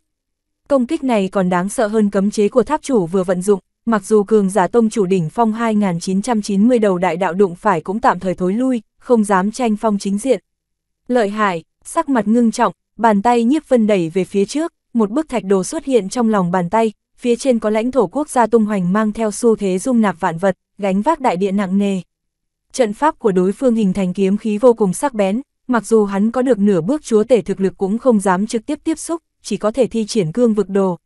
Âm âm, thất tinh kiếm quang va chạm với thạch đồ, thạch đồ không sứt mẻ và chậm rãi bay về phía trước, chỉ trong nháy mắt bay tới đỉnh đầu bảy người. Đây là cái gì? Nó là pháp bảo giống kiền huyết long ấn. Tại sao có loại vật này? Cương vực đồ bay tới, bảy đại trưởng lão lưu ly tháp biến sa chi, toàn thân run rẩy, áp lực cường đại làm đầu gối không khỏi cong veo, đồng loạt quỳ dạp xuống đất. Cương vực đồ mang theo uy thế cả một thế giới áp xuống, ngưng thực trầm trọng không thể kháng cự, bảy người liên thủ hình thành trận pháp có sức chiến đấu rất mạnh nhưng không cách nào chống cự. Dừng tay, chúng ta nhận thua, trước đó tháp chủ bị thương, nhìn thấy bảy trưởng lão tùy thời bị nghiền chết thành bánh thịt, nàng cắn răng, tiểu tháp bay ra và hóa đại trụ kinh thiên ngăn cản cương vực đồ rơi xuống, nàng lên tiếng quát lớn. Nhận thua, nếu như hôm nay thực lực của ta không đủ, khi ta nhận thua các ngươi sẽ không giết ta hay sao? Nhiếp vân nhìn chằm chằm, ta, tháp chủ sướng sờ, xoẹt xoẹt, xoẹt xoẹt, thời điểm tháp chủ không biết nên trả lời như thế nào, cương vực đồ tiếp tục hạ xuống, tiểu tháp bị đè ép chấn động và sắp sụp đổ. Đều là hỗn độn thần binh đỉnh phong, cương vực đồ đại biểu đại địa trầm trọng, chúa tể vạn vật, lực lớn vô cùng, căn bản không phải một hạch tâm lưu ly tháp có thể ngăn cản. Nghe được âm thanh kia, trong mắt mọi người mang theo khủng. Hoảng, không cần nghĩ, chỉ cần đối phương tiếp tục thúc giục lực lượng, thạch đồ trên không trung sẽ nghiền nát tiểu tháp, từ đó mọi người sẽ biến thành thịt vụn. Bọn họ vốn cho rằng người này chưa đủ 10 vạn tuổi, thiên phú cường đại hơn nữa nhưng các nàng liên thủ sẽ có thể áp chế dễ dàng, bị chém giết tùy ý, hiện tại xem ra người ta còn đáng sợ hơn cả ác ma.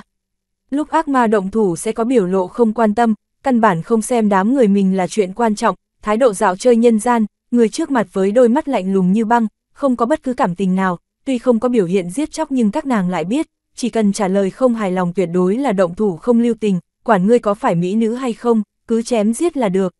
Bằng chừng ấy tuổi, dựa theo lẽ thường đang là thời thanh xuân sức sống, khí huyết tràn đầy, lúc đối mặt với nữ tử dung mạo khuynh quốc khuynh thành sẽ khó tránh khỏi thương hương tiếc ngọc, hắn lại không có thái độ này, tâm trí chi kiên định làm người ta cảm thấy khủng hoảng. Cũng đúng, nếu như không có tâm trí như vậy, làm sao có thể trẻ tuổi đã có thực lực như hiện tại. Mặc dù các nàng liên thủ cũng chỉ là kiến càng lay cây mà thôi.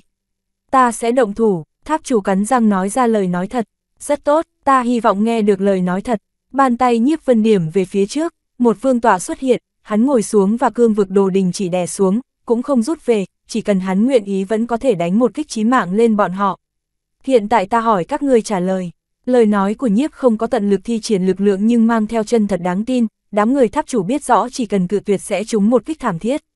Thứ nhất, lưu ly tháp các người có quan hệ gì với kiền huyết hoàng thất?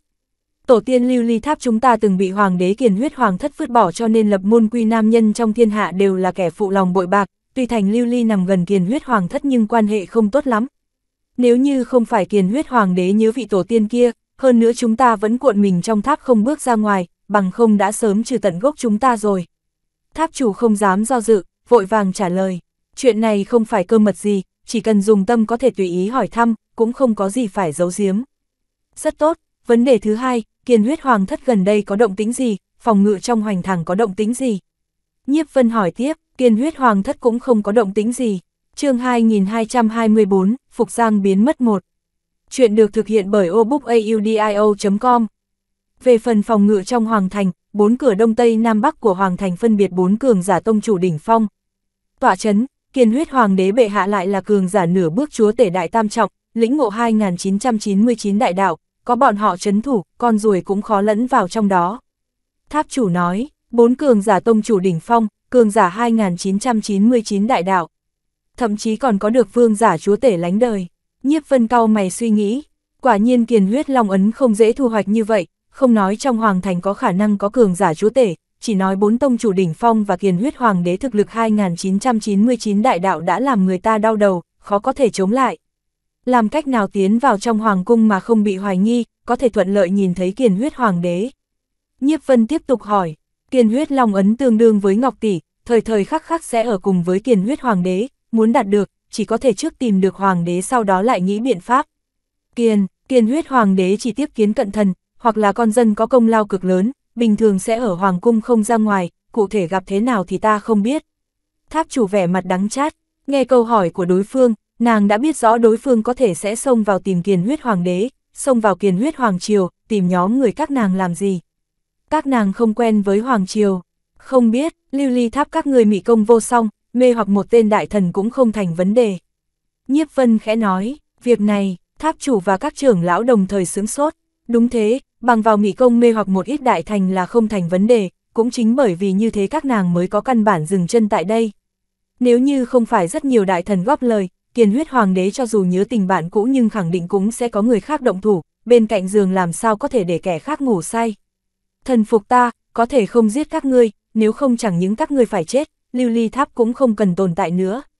Thấy mọi người không nói chuyện, nhiếp vân cũng lười hỏi nhiều, hắn cao mày sau đó thúc giục lực lượng, cương vực đồ không ngừng gào thét, dường như tùy thời sẽ giáng xuống. Bảo chúng ta thần phục, ngươi, không có khả năng, chúng ta đều là cường giả cấp bậc tông chủ, làm sao có thể thuần phục người khác. Các vị trưởng lão không nghĩ tới đối phương đưa ra yêu cầu này, tất cả đều biến sắc. Các ngươi không có quyền lựa chọn, chỉ có đồng ý hoặc là không đồng ý, sắc mặt nhiếp vân trầm xuống, cương vực đồ trên không trung. Lúc ấy đột nhiên hạ xuống, ta không đồng ý, tháp chủ ngàn vạn đừng đáp ứng. Đạo thống lưu ly tháp chúng ta truyền thừa nhiều năm như vậy, không thể hủy trong tay chúng ta. Một trưởng lão quát, trong mắt tràn đầy không đồng ý. Vèo, nàng chưa nói hết câu, một đạo kiếm khí đột nhiên đánh tới, nó như ọ ợi dây nhỏ, chỉ trong chớp mắt quét qua cổ của nàng. Phốc, máu tươi bắn tung tóe, đầu lâu vị trưởng lão này rơi xuống đất, đôi mắt lồi ra, lúc sắp chết cũng không thể tin được đối phương lại có thủ đoạn tàn nhẫn như vậy, động tác nhanh như vậy. Ngươi, nhìn thấy trưởng lão trực tiếp tử vong, ngay cả linh hồn cũng không thể chạy đi, cả gian phòng lập tức trầm mặc. Thiếu niên trước mắt còn lạnh lùng hơn bọn họ nghĩ, thực nếu không đáp ứng có thể đoán được hắn thật sự đánh hết bọn họ, một không cũng không lưu. Chúng ta thuần phục người có chỗ tốt gì? Nhìn thấy một trưởng lão chết đi, mọi người khẽ cắn môi, mị cơ hỏi. Hiện tại các người không có lựa chọn khác, chỉ có thể lựa chọn chết hoặc là không chết. Nếu như các người thiệt tình thuần phục, chỗ tốt sẽ có, hơn nữa còn lớn hơn các người tưởng tượng nhiều. Đầu ngón tay nhiếp vân có một đạo kiếm khí quanh quẩn. Đối phương khống chế sinh tử của mình, không có khả năng không hứa hẹn cái gì với các nàng. Tốt, mị cơ ta đồng ý thần phục ngươi. Mị cơ cắn cắn bờ môi, nàng là người đáp ứng đầu tiên. Mị cơ ngươi, nghe nàng đồng ý nhanh như thế, những người khác biến sắc. Tình thế bắt buộc, chúng ta không có quá nhiều lựa chọn, ta xem các ngươi cũng đều đồng ý a vị đại nhân này còn trẻ đã có thực lực như thế, đi theo hắn có khi còn tốt vẫn lưu lại trong lưu ly tháp. Nghị cơ nói, việc này, nghe nói như vậy mọi người liền im lặng, nàng nói không sai, tùy tình huống trước mắt là bắt buộc nhưng có được một vị cường giả nửa bước chúa tể bảo kê, về sau có thể không gian trưởng thành lớn hơn nữa, lưu ly tháp có thể phát triển ra ngoài. Bản thân lưu ly tháp đã bị kiền huyết hoàng thành kiêng kỵ, các nàng là cấp bậc tông chủ nên không dám quá phận, sợ bị bắt lấy tay cầm trực tiếp diệt sát, lúc này đầu nhập vào một cường giả nửa bước chúa tể chưa đủ 10 vạn tuổi, ai biết về sau có câu chuyện đặc sắc gì. Thuần phục ta, ta có thể chữa tốt cho thiên tài nguyệt vũ của các ngươi, cũng không lưu bất cứ di chừng gì, hơn nữa giúp nàng trùng kích cảnh giới nửa bước chúa tể. Thấy có một người đáp ứng điều kiện, nhiếp vân thản nhiên nói. Hắn đang dùng chiến thuật tâm lý, vừa mới bắt đầu làm đối phương tuyệt vọng, làm cho các nàng biết rõ không phù hợp quy tắc sẽ chết, trong nội tâm sinh ra xoắn suýt, sau đó lại cấp chỗ tốt nhất định sinh ra hy vọng. Quả nhiên những lời này vừa ra, vốn cảm thấy thần phục người khác không có bất cứ hy vọng gì, mấy vị trưởng lão kia lập tức động tâm. Người có thể chữa khỏi cho Nguyệt Vũ, hơn nữa còn làm không có di chứng gì. Trưởng lão có quan hệ tốt với Nguyệt Vũ lập tức hưng phấn hỏi thăm. Ân, nhiếp vân gật đầu, Nguyệt Vũ là bị hắn dùng lực lượng phù văn phản kích chấn tổn thương, chỉ cần rút phù văn vào trong người hắn, lại lợi dụng thiên phú linh hồn sư ân cần săn sóc, muốn khỏi hẳn không khó. Về phần giúp nàng tấn chức nửa bước chúa tể, nhiếp vân cũng không nắm chắc, hắn chỉ ném một quả táo ngọt mà thôi, hiện tại không có biện pháp, không có nghĩa về sau không có biện pháp, bằng vào tốc độ tấn cấp của hắn, trở thành chúa tể chỉ là vấn đề thời gian, một khi thành công muốn trở thành nửa bước chúa tể có lẽ không khó.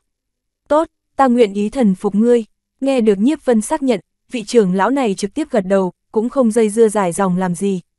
chương 2225, Phục Giang biến mất 2 Chuyện được thực hiện bởi obookaudio.com Ta cũng nguyện ý, ta cũng đồng ý, mấy người khác đã làm phản, trong nội tâm không còn gánh nặng nên đồng ý. Cho dù có chuyện gì, chỉ sợ có đầu lính, đầu lính vừa xuất hiện thì về sau càng đơn giản hơn trước, trong nội tâm không cam lòng cũng biến thành thuận theo tự nhiên.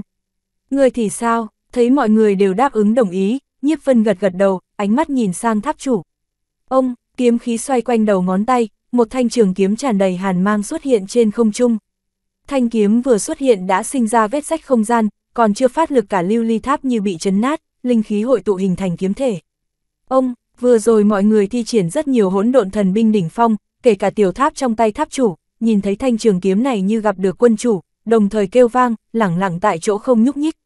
Chúa tể thần binh, tất cả mọi người sững sờ. Tuy mọi người chưa bao giờ thấy qua chúa tể thần binh nhưng nhìn thấy cảnh tượng như vậy cũng lập tức biết rõ. Thanh kiếm này bình thường không có gì lạ nhưng tất nhiên là chúa tể thần binh, nếu không, không có khả năng làm những hỗn độn thần binh đỉnh phong triệt để thần phục, không có khả năng không phản kháng. Nửa bước chúa tể hơn nữa có chúa tể thần binh, người, người này có địa vị gì, ta nguyện ý thần phục, khiếp sợ chúa tể thần binh, tháp chủ thở ra một hơi, cắn răng nói. Uy lực chúa tể thần binh cường đại, là tồn tại kẻ nào cũng hâm mộ, nếu đối phương đã cho nàng biết có thứ này, nếu như không thần phục, tất nhiên sẽ giết người diệt khẩu, tháp chủ biết rõ tánh mạng lúc này đang nằm trong tay kẻ khác, không thần phục cũng không được, đành phải gật đầu đáp ứng. Rất tốt, hiến tế linh hồn đi, nhiếp vân thản nhiên nói, trải qua thần chi di tích, hắn không quá tin tưởng vào lời thề hỗn độn, hiến tế linh hồn mới được là ổn thỏa nhất. Vâng, mọi người quyết định thần phục, cũng không có quá nhiều nhăn nhó, lúc này hiến tế linh hồn bản thân, lúc này thức hải nhiếp vân chấn động, cảm nhận được tư duy của mọi người, hắn vung tay thu cương vực đồ vào trong cơ thể. Có hiến tế linh hồn, chẳng khác nào khống chế toàn bộ, cương vực đồ đã xong việc. Ta cứu tỉnh nàng, ngồi xuống lần nữa, nhiếp vân nhìn về phía Nguyệt Vũ nằm trên mặt đất, bàn tay đặt lên vai nàng, phù văn dung nhập trong cơ thể. Nàng bị hắn thu trở về, đồng thời rót một dòng linh hồn tẩm bổ linh hồn của nàng, ngay sau đó hào quang ôn nhuận sáng lên, linh hồn Nguyệt Vũ đã khỏi hẳn. Một lát sau Nguyệt Vũ tỉnh lại, sư phụ, sư phụ coi chừng, người này lợi hại. Nguyệt Vũ tỉnh lại sau đó nhìn thấy đám người bọn người và nhiếp vân đứng chung một chỗ, nàng biến sắc hô lớn. Vừa rồi nàng bị đánh bất tỉnh, cũng không biết phát sinh chuyện gì, nào biết sư phụ và trưởng lão lúc này đã thành người hầu của thiếu niên trước mặt. Nguyệt Vũ, đây là chủ nhân của chúng ta, còn không mau nhận chủ thần phục. Tháp chủ nói, nhận chủ, thần phục, trong mắt Nguyệt Vũ như rơi ra ngoài. Ân, chúng ta cũng đã thần phục, người cũng động thủ đi. Trưởng lão quan hệ tốt với nàng lên tiếng. Việc này, Nguyệt Vũ nhìn qua mọi người, nàng chớp mắt vài cái, biết rõ mọi người nói là thật, giờ mới hiểu rõ thiếu niên đáng sợ, nàng khổ sở và hiến tế linh hồn. Ông, chỉ trong nháy mắt cũng nhận nhiếp vân làm chủ. Rất tốt, nếu các người nhận ta làm chủ, ta cũng không giấu giếm nữa, ta ý định đi kiền huyết hoàng thành trộm lấy kiền huyết long. Ấn, thấy mọi người đã nhận chủ, nhiếp vân cũng không hề che giấu, hắn nói rõ mục đích của mình. Thu phục những người này, hắn tự có chỗ dùng, cho nên phải sớm nói mục đích ra, từ đó mới có thể an bài rất tốt, bằng không đến thời khắc mấu chốt, mọi người quá mức rung động không cách nào tiêu hóa, chỉ sẽ ảnh hưởng kế hoạch. Trộm lấy kiền huyết long ấn, đám người tháp chủ nghe được chủ nhân nói thế, thiếu chút nữa đã bị hù chết. Kiền huyết long ấn đại biểu ngọc tỷ của kiền huyết phương triều, đại biểu thân phận hoàng đế, muốn trộm lấy không khác gì nằm mơ. Nói là trộm, trên thực tế là đoạt, chỉ có thể thành công không thể thất bại. Nhiếp Vân nói, kiên huyết hoàng đế lĩnh ngộ 2999 đại đạo, tất nhiên sớm lĩnh ngộ thâu thiên đại đạo, Long ấn bị hắn trưởng quản, muốn trộm đi là chuyện không thể hoàn thành, gây chuyện không tốt chỉ có thể cường đoạt. Cướp đồ trong tay cường giả lĩnh ngộ 2999 đại đạo, trong hoàng cung còn có cường giả cấp chúa tể, độ khó to lớn có thể nghĩ. Chính bởi vì đây là nhiệm vụ không thể hoàn thành, Nhiếp Vân mới quyết định thu những người này làm người hầu phối hợp với hắn. Đoạt, tất cả mọi người nghe tin tức này suýt khóc thét lên. Người xác định không có lầm, đi kiền huyết hoàng cung đoạt kiền huyết long ấn, bọn họ nghĩ thế nào cũng không có cảm giác chân thật. Không cần ngạc nhiên, ta tự có biện pháp, Nguyệt Vũ, người đi xem người hầu bên ngoài tháp lâm của ta còn đó hay không. Thấy biểu lộ của mọi người, Nhiếp Vân cười cười nhìn về phía Nguyệt Vũ, phân phó một câu. Hắn và Phục Giang Vương Tử đi dạo tháp lâm từng gặp mặt Nguyệt Vũ, nàng có thể nhận ra Phục Giang. Vâng, nghe theo mệnh lệnh, Nguyệt Vũ đi ra ngoài, qua một lúc đi vào. Bẩm chủ nhân, người hầu của ngươi, không thấy, ta đã tìm cả tháp lâm nhưng không thấy tung tích. Vậy sao, rất tốt, Nhiếp Vân đứng dậy, thấy Nhiếp Vân không có ngạc nhiên lại cười cười, tất cả mọi người đều nghi hoặc. Người hầu của hắn biến mất, không có thất vọng ngược lại cao hứng, đã xảy ra chuyện gì? Người hầu của ta chính là Phục Giang Vương Tử của Kiền huyết Hoàng Triều. Nhiếp Vân giải thích, Phục Giang Vương Tử, đầu óc tất cả mọi người sắp nổ tung, vị chủ nhân này sắp nghịch thiên, chẳng những muốn cướp Kiền huyết Long Ấn, không ngờ còn thu nhi tử của Kiền huyết Hoàng đế thành người hầu, rốt cuộc hắn muốn thế nào? Lại nói người muốn cướp Kiền huyết Long Ấn, hiện tại Phục Giang Vương Tử đào tẩu, tất nhiên sẽ truyền tin tức này ra ngoài, có lẽ phải sợ hãi mới được, tại sao phải cao hứng? Chủ nhân muốn Phục Giang Vương Tử mang tin tức cướp đoạt lòng ấn truyền ra ngoài.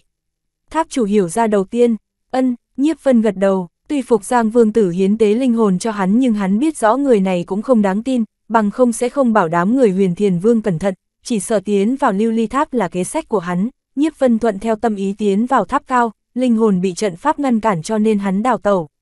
chương 2226, Thành chủ thành lưu ly. Chuyện được thực hiện bởi obookaudio.com Quả nhiên đúng như phản đoán, gia hỏa này đào tẩu không lưu lại.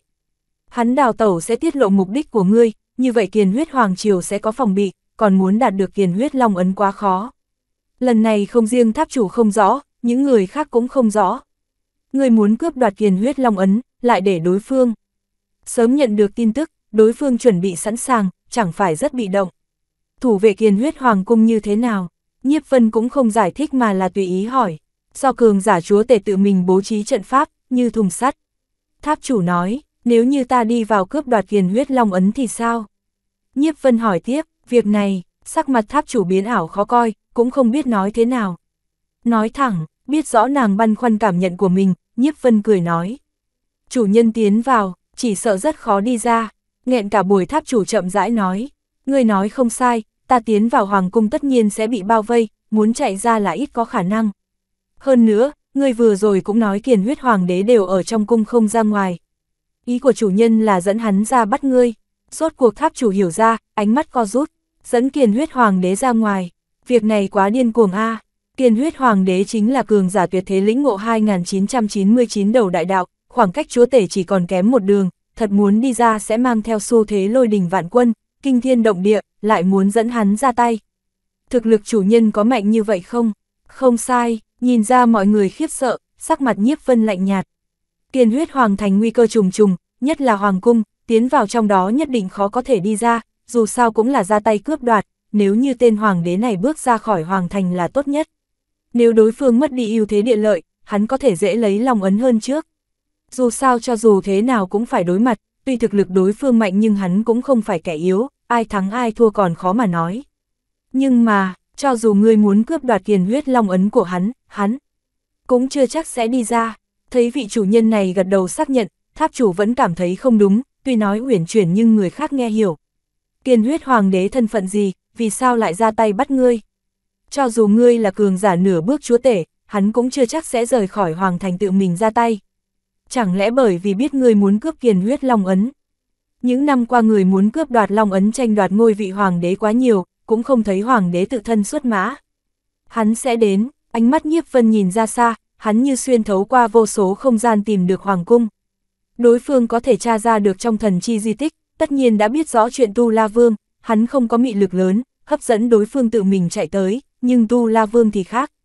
Một trong bốn đại cường giả phong vương chuyển thế, không tin hắn không động tâm. Đương nhiên, cho dù không đến cũng có thể, hắn có đầy đủ biện pháp ép hắn tới. Nghe nói kiền huyết vương triều có được một kiện chúa tể thần binh, các người ai biết là cái gì không? Suy tư một hồi, thu hồi ánh mắt, nhiếp vân lắc đầu và hỏi. Nghe tổ tiên từng nói một câu về chúa tể thần binh của kiền huyết vương triều, đó là một kiện phòng ngự linh hồn kim tâm cháo. Về phần mặt tin tức kỹ càng lại không biết, tháp chủ suy nghĩ và trả lời. Kim tâm cháo, chúa tể thần binh phòng ngự linh hồn có thể phòng ngự linh hồn không bị thương tổn, mặc dù tuệ kiếm của cường giả cấp chúa tể cũng không thể đánh chết hắn. Thì ra là thế, khó trách phục giang vương tử dám phản bội, rốt cuộc ta biết vì sao hắn không sợ ta tiêu diệt linh hồn của hắn. Nghe được kiền huyết vương triều có loại bảo vật này, nhiếp vân gật đầu. Hắn và Phục Giang vương tử là quan hệ chủ tớ, tình huống bình thường có thể một ý niêm diệt sát đối phương, Phục Giang biết rõ như thế còn lựa chọn phản bội, tất nhiên có chỗ dựa, trước kia vẫn suy nghĩ hắn có át chủ bài gì, hiện tại xem ra chỗ dựa chính là kim tâm cháo. Chúa tể thần binh phòng ngự linh hồn, chẳng những có thể bảo hộ người sử dụng linh hồn, còn có thể bảo hộ trong phạm vi nhất định, mặc dù hắn là chủ bộc của Phục Giang nhưng chỉ cần đối phương đang ở trong phạm vi phòng hộ sẽ được bảo hộ, ý niệm không thể diệt sát. Phục Giang nhất định đã sớm tính toán đến điểm này cho nên không do dự kính dâng linh hồn, lấy được tín nhiệm của mình sau đó tìm cơ hội đào thoát.